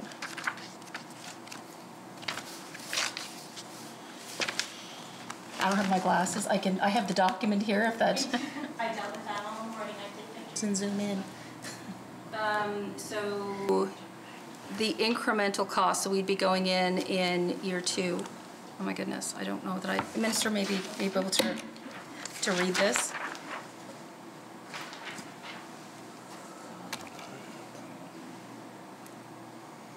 I can hardly see with my glasses. We can certainly, I can. Yeah, we'll- we'll share. Yep. I can get that for you, Michele. Honorable member. It's okay. Michele? Um, Thank you, Chair. So, but do you know what the cost of the platform is? Like, just, It, it, well, it would depend on how many shareholders are, are, are in the platform. So, um, so for instance, the, the figure that, that was presented to public accounts makes the assumption that, um, it's just Nova Scotia and New Brunswick. So I don't know if Newfoundland and Nova Scotia were to, PEI and New Brunswick rather, so if Nova Scotia and Newfoundland were to ultimately come in, that would fluctuate as well. So I- I guess the answer to that is we will have a better sense at the point where PEI was prepared to go in. We would have a better sense of, of what that would cost because we would have all the information before us and we could certainly provide that back to the Public Accounts Committee. Okay. thank you. Michele? Um, Thanks, Chair. And the document that you're going to provide us, does that have revenue estimates for future years as well? For the, the, the, the information that Atlantic Lottery gave to the Public Accounts Committee? That document right there, is that Oh, the that's one? That's the, the information that Atlantic Lottery provided the Public Accounts Committee. Okay, Yep, so you already have that. Um, so in Atlantic Lottery's annual report, they have performance targets, performance to targets that they measure, so key performance indicators. And one of those key performance indicators is the total number of weekly, monthly, yearly players on ALC. So I'm just looking this, in this year, so the target was tw- for 2019, 20, 2020 was 22,500, but the actual was actually about 5,000, more than that.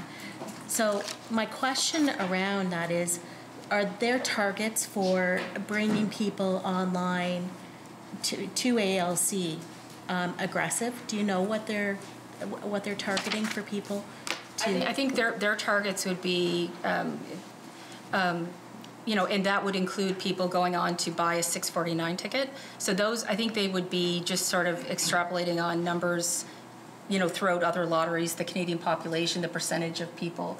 Um, I think what they're trying to do, and I think what, what our department has always said is, is it, and, and I mean, it's been made clear to Atlantic Lottery from our perspective is we're not interested in creating brand new players.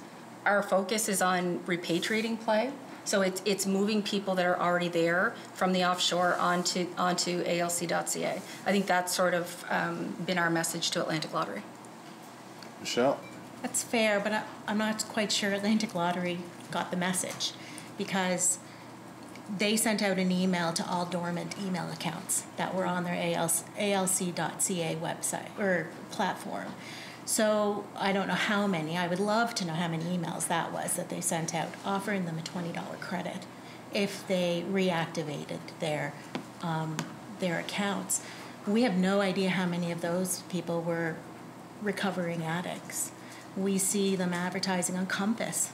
So even people who don't necessarily use the internet a whole lot, you've just grabbed them on probably the most watched um, program in PEI, offering them a $20 credit. On Facebook, we see a sponsored ad offering a $20 credit. So, to my colleague's um, point, when we talk about regulating how advertising is going to happen, I don't see us ever offering a $20 credit to the liquor store. I'm sure some islanders would appreciate that, but we don't do it because we have regulations around it, and that's why we don't do it. So, um, and my understanding, looking at the legislation, is, is there's no regulations when it comes to online. There are in possibly other areas, but so where where do we stand right now in that responsible? That doesn't feel responsible to me. So, so um, I'm not going to disagree with you on what you just said. Um, we saw that ad, and um, the minister sent notice to Atlantic Lottery that that's not to happen again.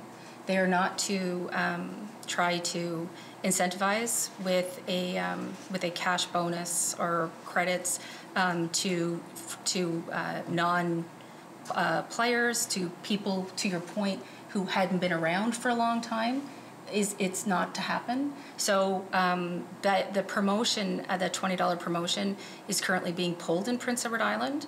Um, it's and the reason why it wasn't pulled, the minister sent a letter to Atlantic Lottery advising that that would also, you know, include, um, you know, anytime you're going to send something out in the mail to or, or or the like to try to incentivize people to go to the website. That's not where we want to be.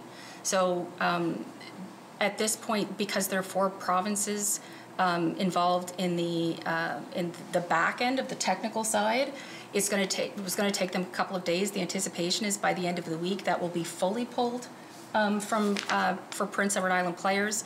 Um, in terms of the advertising, there could be um, this spillage, so someone could see that promotion on live at five it, but what will happen is there will be a, a something written on the back sides end slate that says not available in PEI. Um, players who log on um, will not be able to access it. So that that the minister sent a letter to them advising them that that, that was, and that will also guide our discussions with Atlantic Lottery on our expectations for advertising and promotions going forward. Michele? Thank you for that.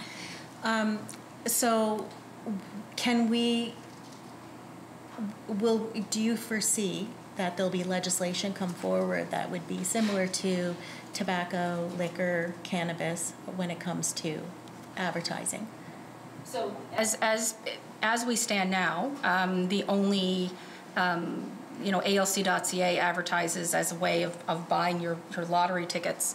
Um, you know, th- this is part of the discussion going forward. So what do you, what what is what is the interpret you know what do what do you expect to be doing in the other jurisdictions because as as I mentioned earlier every province has control over the promotions and the products available within their their borders and you can geofence as much as possible players may be aware of, of things um, there are things that happen um, so you know their customer care center would be informed that you know every province has the ability to determine um, promotions in their in their jurisdictions. Um, so yeah, I mean we we absolutely and, and I think we're so like this is this is early days and um, we will there will be some parameters around that anyway. I'm not sure exactly what that takes because we're still at that sort of phase in it. But yes, that's absolutely a point that we're bringing forward to Atlantic Lottery again. Michele? One more, and again, it's around the advertising, and I'm looking at advertising because if we're not trying to create new players, then we don't advertise it, right? And you know, when you think about just all of the other platforms of ALC, so you know, Lotto 649, um, the scratch tickets, all of that. Um, lotteries play on the hopes and dreams of making it big, of, of getting that lucky ticket, right? And all of the advertising of ALC is, you know, happy people holding big, big checks and, you know, how they're set for life and life is grand now because they hit it big. And the concern about, um, so one thing, if it's you're buying your weekly ticket, you're actually usually going into a location and you're doing that, and there's limitations that's that's organically created from that aspect. Although now you can do it online. Um, but VLTs, we see that all the time, and we see a, a, huge percentage of the $18 million, I think, of our revenues, 11 million of it was created through um, video lotteries. And we know that that is because people are doing the next spin to maybe make up for what they've already lost, or the the machine feels like it's going to pay out today. And I think that that's part of the problem is is gambling sets that, you know, sets that it's going to happen. It's just a matter of time. You just got to keep playing and you'll hit your numbers big. So is there any discussion around how the advertising to people um, will be addressed so that it's not such a wonderful story that happens to such a very, very small percentage of people? Yeah, I think the, the focus of our discussions, um, and we can certainly discuss that um, back at the department. Um, I think at this point, our, the focus of our discussions is on, um, was, has been on the, what the online um, component would look like, but we can certainly have a broader discussion. Great. Heath? What else there is to ask, Chair? It's a good discussion. Kind of sitting here, you know, thinking back to when uh, VLTs were introduced back in the 90s and kind of goes through the same, same process. You're, you know, there was, there was always talk about, well, if government does it, it'll be safer and, you know, all that kind of stuff. And we soon came to realize that it wasn't much safer, but it was somewhat safer, and uh, they started pulling machines back in.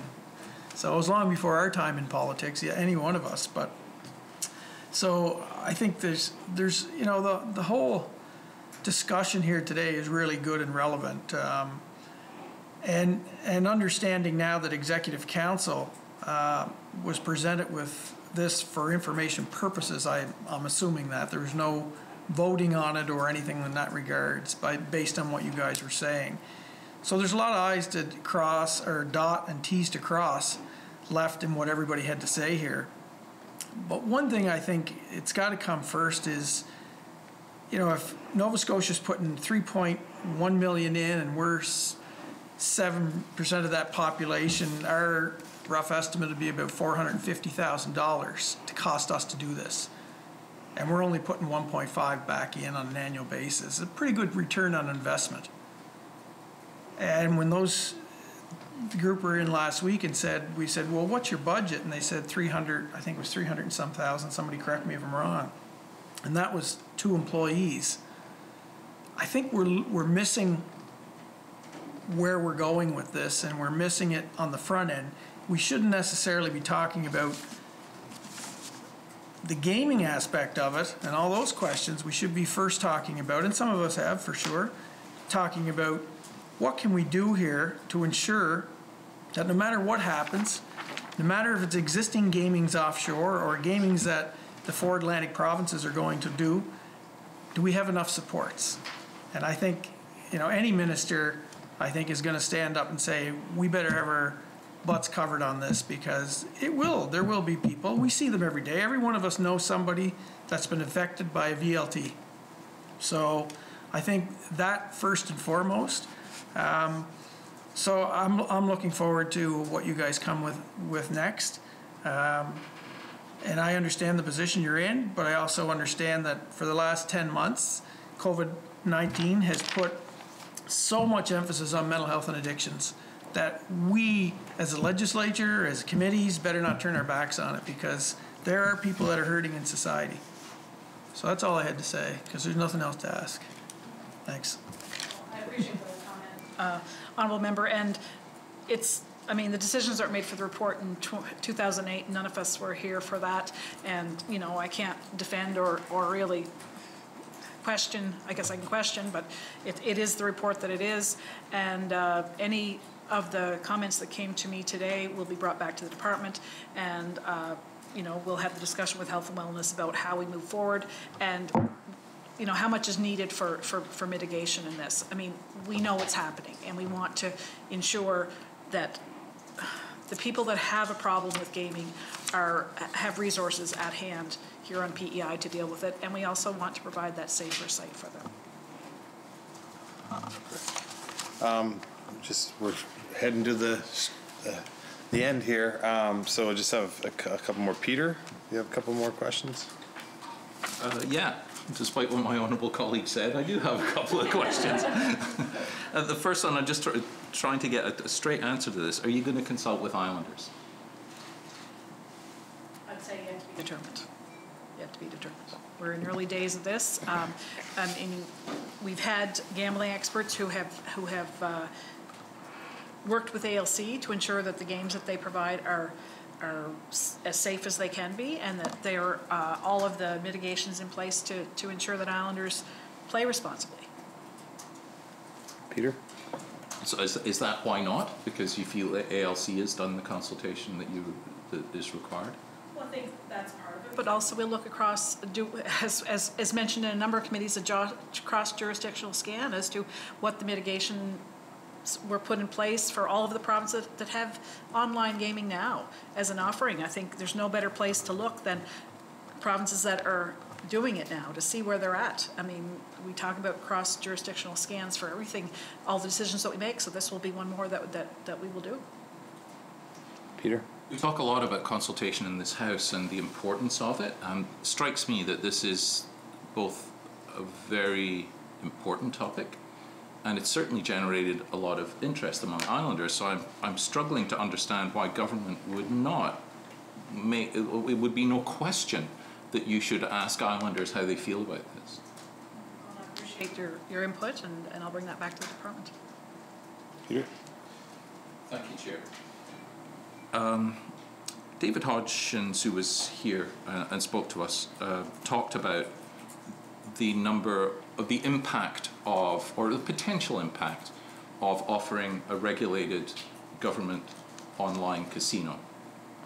And, and he said, and I'm going to quote from, from what he said, it may, it may draw some people away from the unregulated sites while also drawing in new people. So, do we have any studies? A number of times you've said here that uh, this is not going to impact the number of gamblers. Show me the studies that support that statement. So those would be the- the two studies, and, and I, I don't know that, I, I think that we're trying to, I think he, he sort of divided gamblers up into gamblers and problem gamblers. So someone like, like me who would say, you know what, I'm, I think I'd like to buy my lottery tickets online, um, is, is a very different player than someone who, who would, would, um, play, um, in a, in a harmful way. And so the studies that, that are there, and, and we have, we are going through the process of, of the, the disclosure now.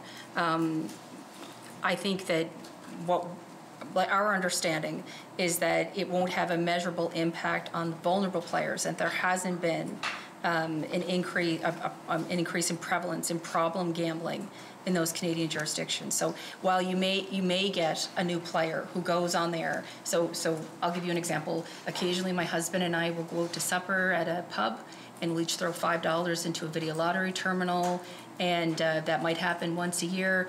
And I so I you know I would I guess I've gambled with a video lottery terminal. That's very different than, than the experience of someone who just does it more regularly, and even more different from someone who does it more than that.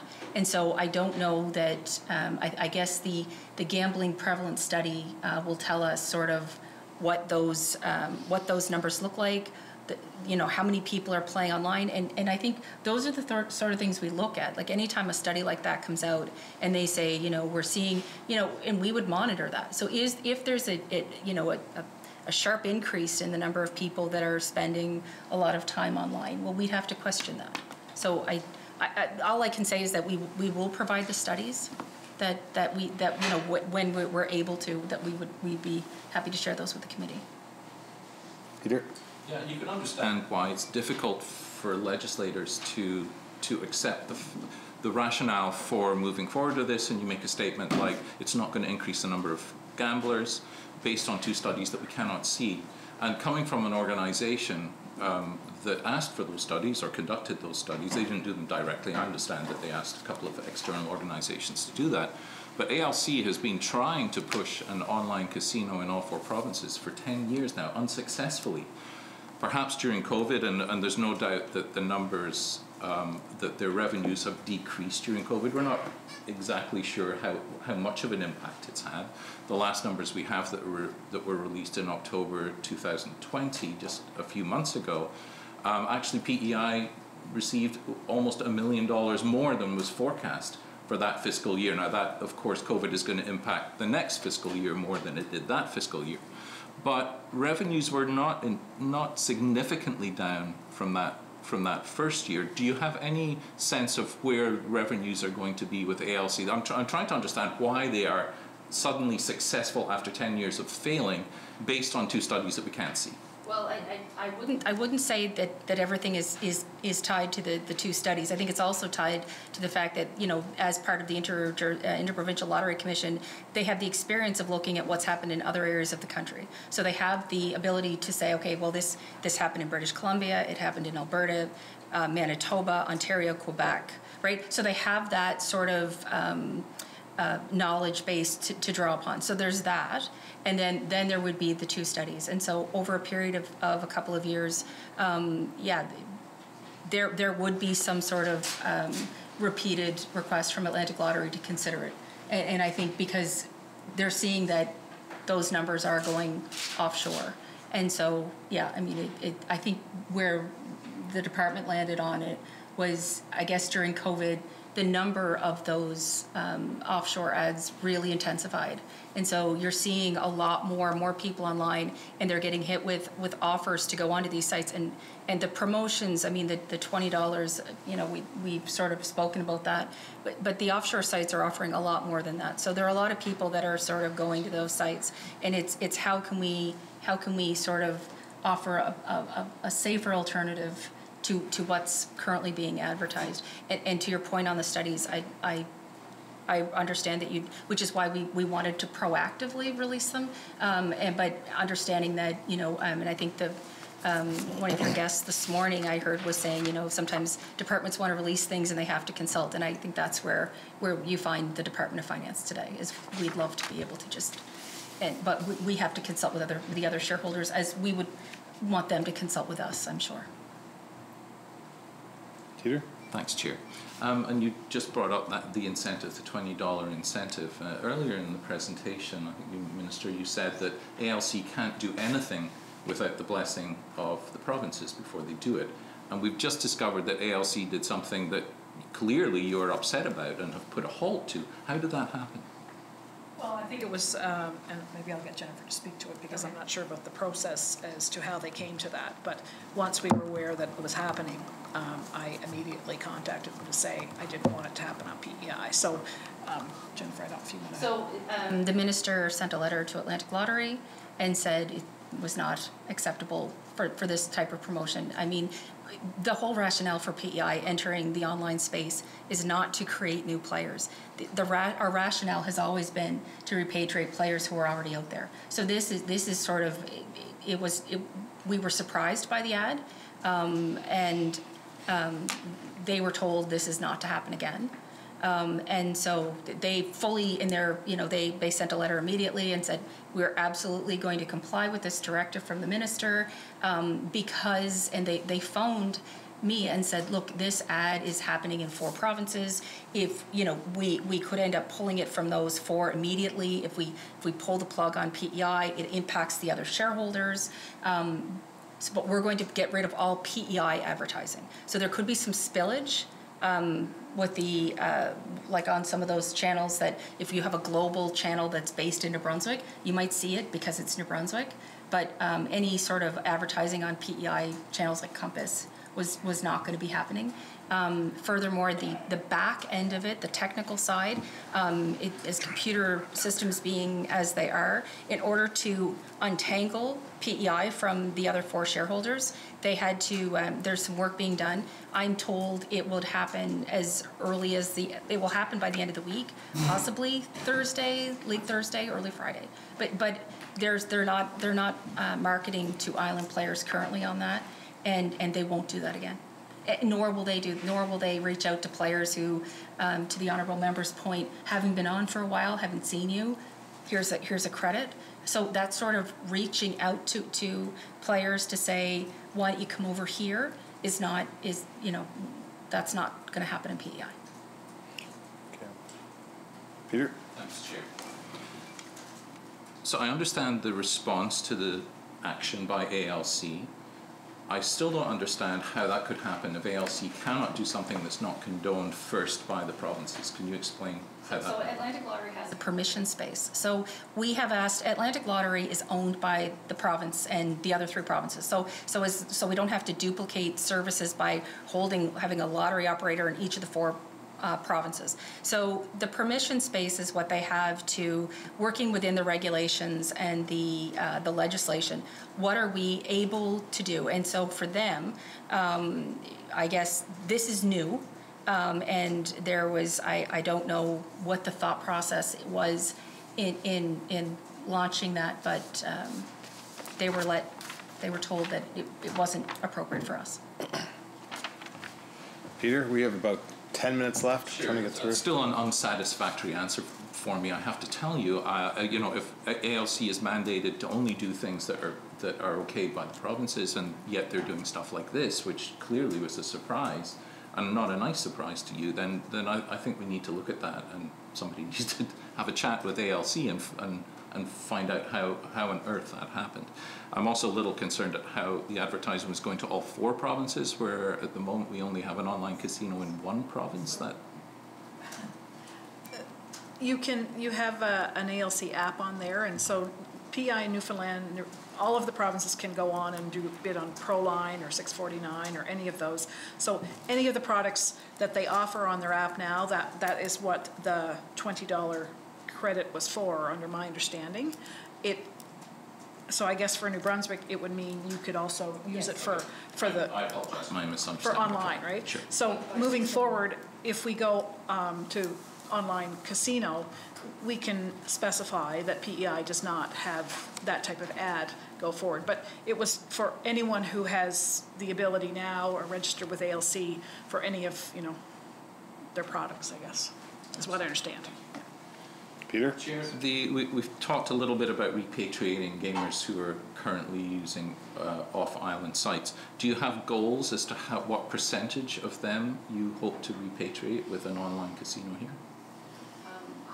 of them. You know, if, if the option, if the two, if the alternative is they're playing on unregulated sites that, that maybe have responsible gambling features, or they're playing on Atlantic Lottery that has responsible gambling features and, and sort of the behavioral um, uh, monitoring that um, the Playwise system has, um, you know, and I- I don't know, I, I, I think that wherever possible, what we would say is, um, if Islanders are going to, to play, they should play um, in a, in a, in a regulated way, um, and, and not to play with, you know, to play within their limits.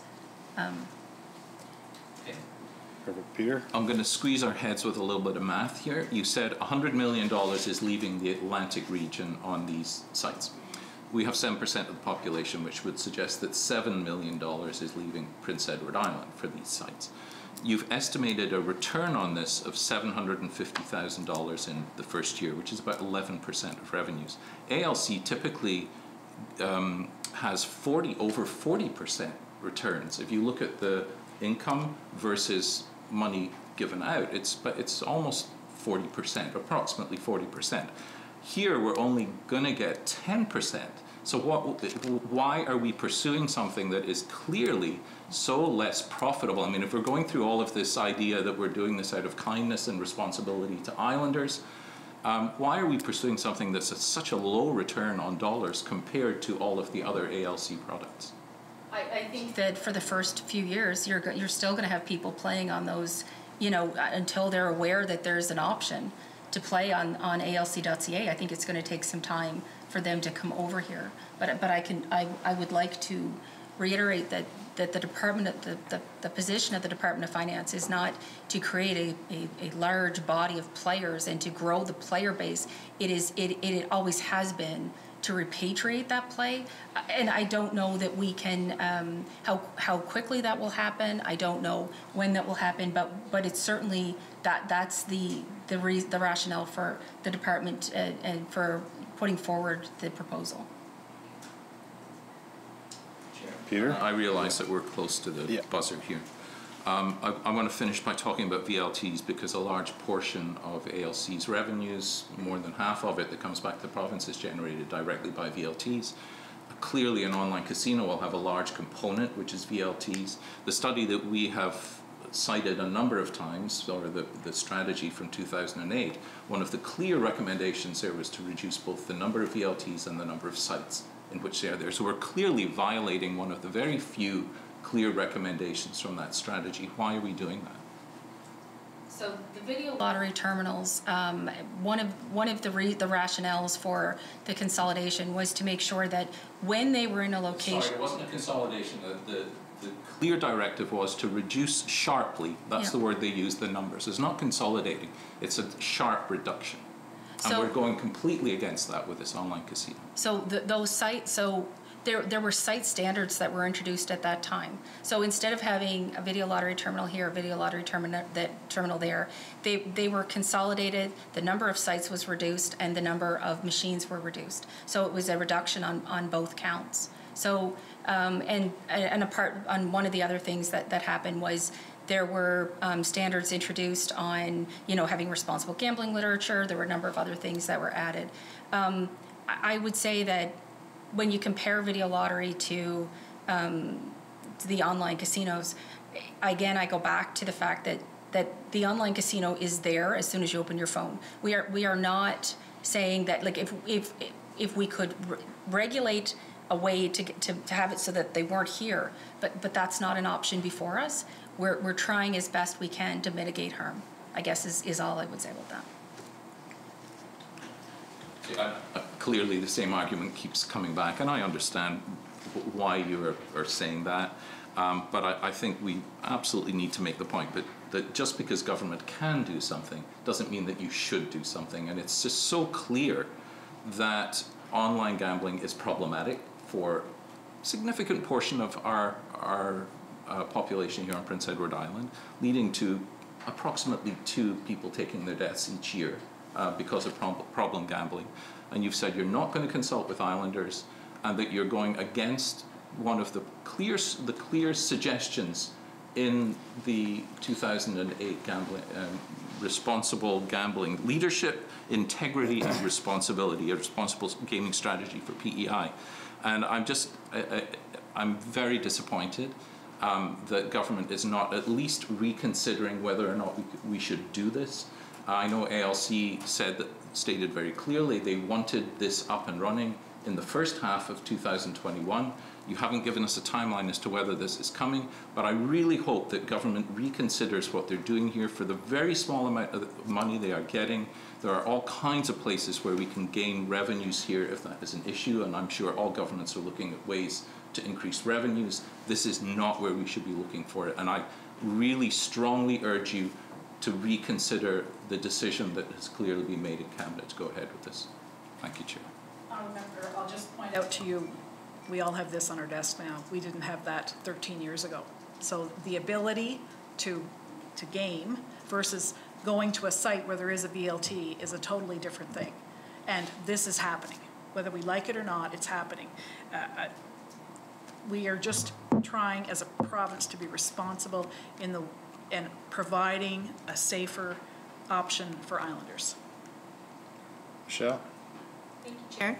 Um, Just a couple of quick ones. So is there money in the 21, 22 budget that assumes we've launched an online gambling casino? Okay. And uh, so for the cannabis, um, we, PAC had uh, the board for um, the Liquor Commission as well as Cannabis Management Corporation come in, and, and when we asked about um, how much of the illicit market they have um, taken, um, we could only speak to, Cana- they could only speak to Canadian numbers and didn't even really know if those numbers, you know, were accurate. Do you know how you're going to actually identify if you've actually repri- rep- um, oh my gosh, sorry, you know what I mean, repatriate? Thank you. Do you, do you have a plan that has been developed for you to be able to measure that?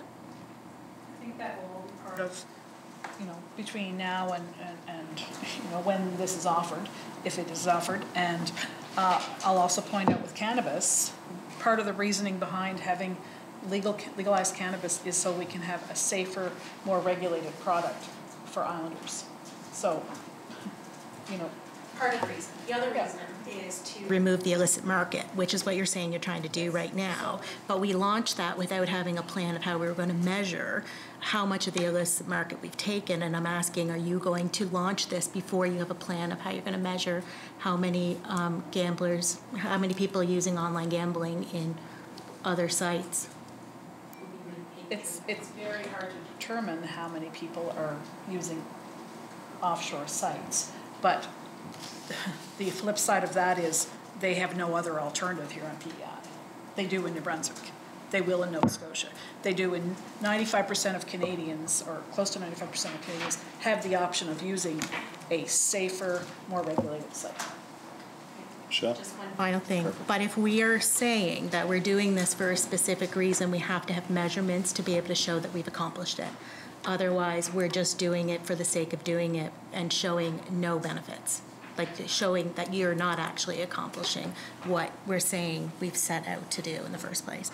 So, not really a question, but I find that we launch a lot of things without ever measuring it. And so, if we're not going to measure it, you can never say you're successful.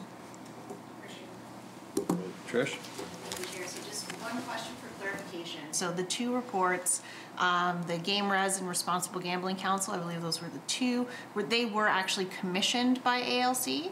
Or they're just two reports that ALC chose to, uh, I believe they were commissioned by ALC. Okay, so I just, it, it's, it's, uh, it, ju- I, I have a really difficult time with that, to be honest. It's, it's not directly about online gaming, but it does help us under, or it's a problem that we can't see those reports. And you say that we can't see those reports because of the contract, so. Oh, no, no, I'm, I'm- I'm saying. Sorry. I, my, my, that we are, we're trying, we're going through the process. So we're, there, because we're only one of four shareholders, we had wanted to proactively release them, so we'd have them here for you, and you could sort of ask us those, uh, about them. So we asked Atlantic Lottery, um, and so, um, their consultant, we gave those to the, subsequently, rec- we received a couple of FOIP requests for them. So we're going to, we presented them to the Access and Privacy Service Office. They're sending them to Atlantic Lottery, who will consult with the other three shareholders, and then we, we would, with the eye to release them. Trish? Okay, so that, so the problem is, uh, you need to have permission from the other provinces to release it. We're only one owner of Atlantic Lottery. There are, there, there are another three. And in the same way that if, if someone were to ask for, uh, I guess, uh, an asset from, you know, in Nova Scotia, Newfoundland, or uh, New Brunswick, they would consult with PEI. And, and I don't know, I don't anticipate that being a long process. Trish? So I will just quickly say, I still see that as, as quite problematic. Uh, quite honestly, that ALC, which is responsible to the provincial governments, and the provincial governments are responsible to people, there, there shouldn't be a, a, a possibility for any provincial government to block, um, you know, research that was paid for through ALC. That just should, that shouldn't be possible. Anything that is commissioned by ALC, quite honestly, should be allowed to be made public. Like I just, I, I feel like, well, I don't feel, I see that there's a real problem there in terms of transparency. That's not for you to answer today, but I certainly, you know, would be interested to know what the process is to resolve that so that we're not in a situation where you're saying decisions are being made on reports that nobody can see. That's problematic. And, and I, for what it's worth, I don't anticipate any of the share, other shareholders having any issue with the release of the reports. Um, but it, it is a process that we work through, and I think it's probably going to be an expedited one. But um, it, it's just a matter of, of I, you know, because we are only a quarter uh, owner uh, of, of the assets that, you know, we're just going to ask the fellow governments, um, shareholders, if, if, um, just to let them know, and, because they may have requests, there may be something in there that, um, that refers directly to them. I, I- you know, I, that they may sort of want uh, some information on, um, I, I don't know. But anyway, it'll, they'll come back. Great. Um, on, on the, um, the list of services, there was something on there, it said my offers, um, before on one of the slide presentations. What, what was, what's my off, what, what would be in that?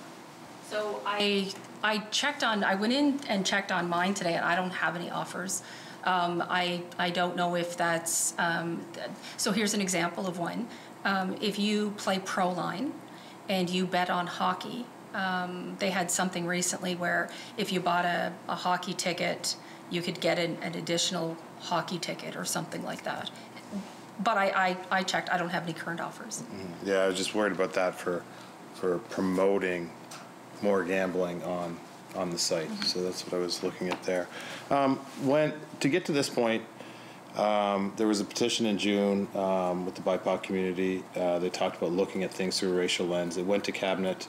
This decision went to cabinet. Was it looked at through a racial lens at that time? Was there any discussion of how it would affect um, ethnic and racial minorities?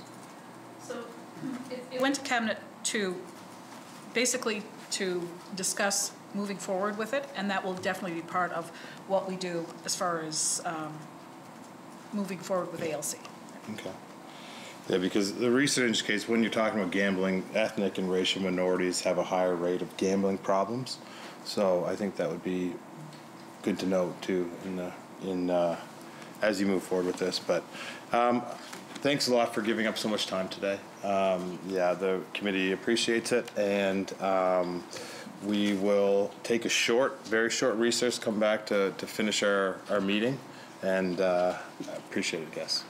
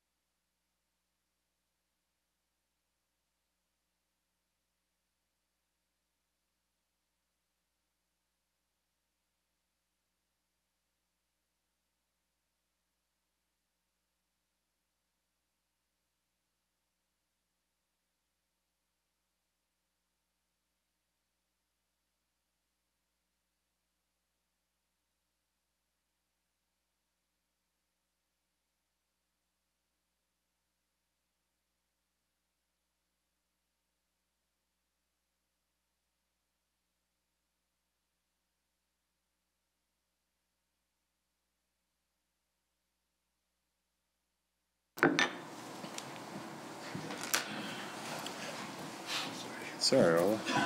Yeah. Um, Just back to move on to number five to finish up the meeting. Uh, Discussion of scheduling. Minister Thompson was unable to make today, today's uh, visit. Um, At this time, the committee has a few options for next steps. Uh, Wait to meet with the minister on a day he's available, or request a copy of the report to be provided to the committee to review in camera. Just for clarification, that would be without the minister, because obviously if his schedule doesn't align, um, the committee could go ahead and request just for the report to review. Um, and then that in-camera bit was, uh, to align with the original motion that included it to be in camera. Uh, Cory? I, I, I wasn't at the last meeting, but I guess, so we requested, we subpoenaed the report, right? Or, Yeah, there was. or an- I don't know the exact wording, and then, so I guess I'm just looking for some background. No, um, that's fine. So at this time, we have a request out for the minister, um, to appear with an unredacted copy of the report, and that was to be in an in-camera meeting. Um, and from my back and forth with, um, his office, we weren't able to find a date that he was available to come in. Um, there was limited options given just because the calendar was so full. Um, so it's up to the committee how it would like to proceed, but at this time, he wasn't able to make the, the dates provided. Cory? Oh, no. Oh, no? Okay, anybody else? Trish? Yeah, I think uh, we asked for the report. We subpoena the report. We can get the report for sure, and then we have the minister in when that's possible. Okay. So, Is the committee okay with that? And just to clarify, subpoenaing would be a different process. Is it the wish of the committee just to send a letter requesting it at, at this time? Trish? What is the process for us to get the report? I, I mean, this back and forth, like, we just want the report, Yeah. let's get it. That's my thought. Everybody else With can. my, um, consulting with the parliamentary counsel and the other clerks, it was the recommendation from them. Um, and I agreed to go forward with sending a request for just the report at this time, just because his schedule doesn't align. Um, it would be, I guess, the next step, just to ask for the report. Court? I thought we had already basically did subpoena, or we asked for it? Yeah, we, we have. It was a strong, strong request, yes. So, Court? The response we got back was that they don't have a, they can't, I don't know how many dates we offer them to meet, but they Yeah. couldn't, couldn't make it in on those dates. So basically, right now, we're looking at, we wouldn't meet again until probably, assuming the legislature sat for like six to eight weeks, like possibly into May. there is always the option of offering a Friday afternoon if the committee pro- wanted to prioritize it. Heath? Did we ask for the report? We asked for the report alongside the. Not the report by itself. So that's what's being recommended as the next step. If we can't meet with him on his schedule, to have him come in, or sorry, to not have him come in, but the report be sent to the committee to review in camera. Yeah. Try that and see where that goes, because we don't have time anyway, so. Perfect. Committee okay with that? Trish? Just to, I'm just looking at my calendar. We don't have another scheduled meeting of this committee before the next sitting, correct? No. So is there, there's no mechanism for us, if we just send out another, can we please have the report?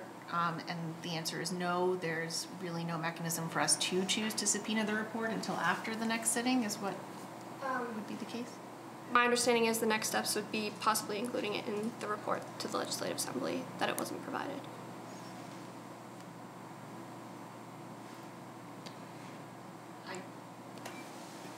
If we did get the report and we wanted to meet, that's always an option too.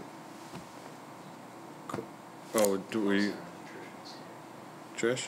I guess I am just unclear at this point why we wouldn't just subpoena the report instead of sort of playing this back and forth game. Uh, but I'm open to hearing why. I mean, I just, I feel like it would be very beneficial, uh, you know, for us to be able to see that report at this point, you know, before the next sitting. Uh, otherwise, we're gonna have to wait a very long time, uh, to resolve this. So I just don't see why we wouldn't just go ahead and do what is fully within the rights of this committee to access that information. I'm open to discussing it further, though. I am. Why not? Anybody else?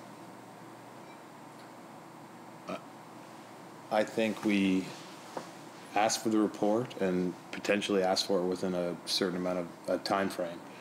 Uh, We want to see the report within forty-eight hours. Cory? Did, did we put a time frame on the original request? Yeah, and it's, it's, it was te- ten day, Yeah, the, um, the timeframe that was provided, um, I believe there's only one or two dates within that open to, uh, be presented. And those were unavailable, so I came back to the committee and asked if I could provide two more dates. Um, those two dates were also unavailable. So at this point, um, yeah, I guess it's up to the committee if you want, how you want to proceed. Um, but of course, like you said, we could a- attach a deadline to it. Um, I would suggest, I'd, I'd like to see the report by end of business day on Friday. But then if they don't, sorry. Well, Trish? If it's not sent by Friday, though, then what, right? I just, I move that we subpoena the report. I'm gonna go ahead and move that, and people can vote it down if they want, that's okay. Okay, a motion's on the floor. Oh, clerk, recess? sorry.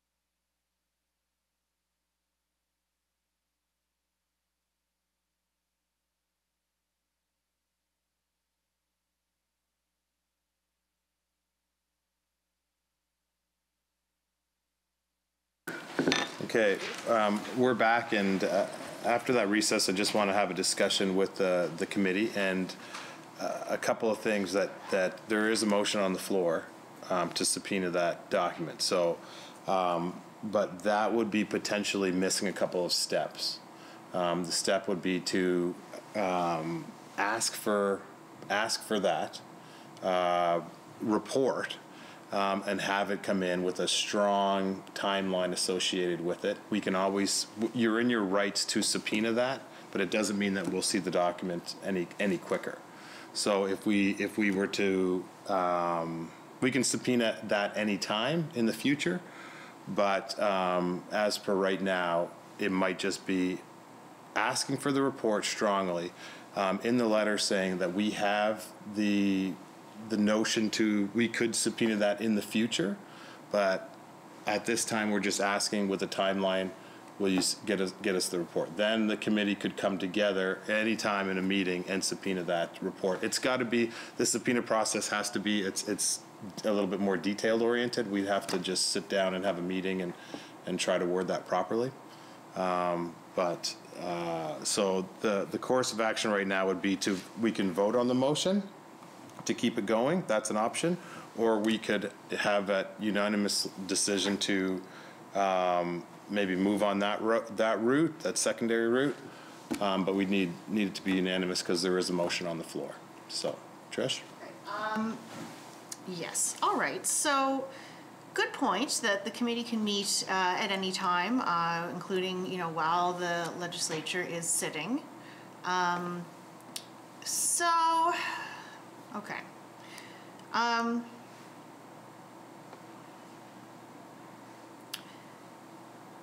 we- did already ask for the report, quite honestly, but I see, like, I'm looking over the, the wording of the original motion, and, I mean, perhaps, in retrospect, the way that we worded it, we really did tie the minister and the report together, so, okay. I'll withdraw my motion, and, uh, I would, you know, perhaps uh, encourage that, you know, we strongly insist that the, we get the report and a timeline for that, and we schedule a meeting if we don't get the report by that timeline, Yeah. so that we can take this next step. And uh, can we, as you had said, Chair, like, can we make it clear in the letter that that is the next step, we are aware of it and we will take it? Is that, Yeah, like, not we will take it, but we are aware that that is the next step and we'll be considering that. Obviously, we can't say we will take it because we'd have to vote on that, but, Yeah, okay. Others thoughts? definitely. Uh, Cory was next to speak.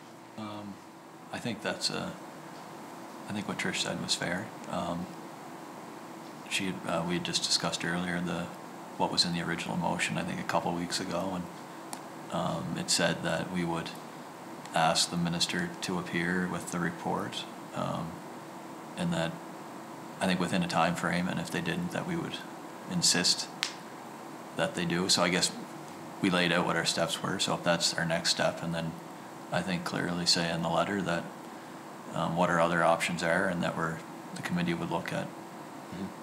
Yeah, would certainly look at following those, Okay. looking into those future. I guess uh, I'm not trying trying to find the word here, but look Mhm. into those uh, Options, yeah. next steps. Yeah, perfect. Anybody else? Is that okay? So, um, we can, can, it- can we get unanimous consent that that motion has been taken off the table? Okay, Perfect.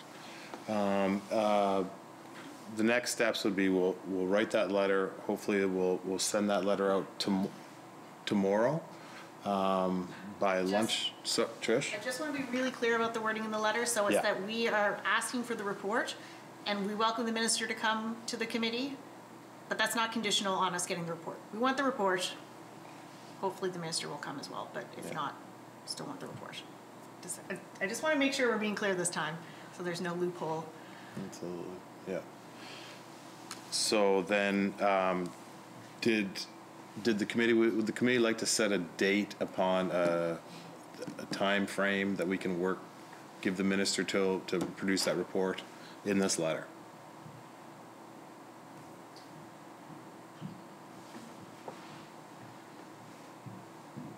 Yes. well, What's reasonable, I don't know.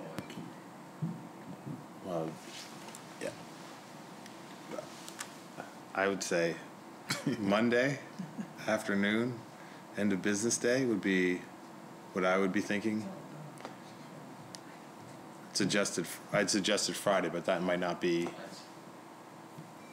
I don't know, I, Cory? Chair, I don't, I think, well, we gave them two weeks in the first letter.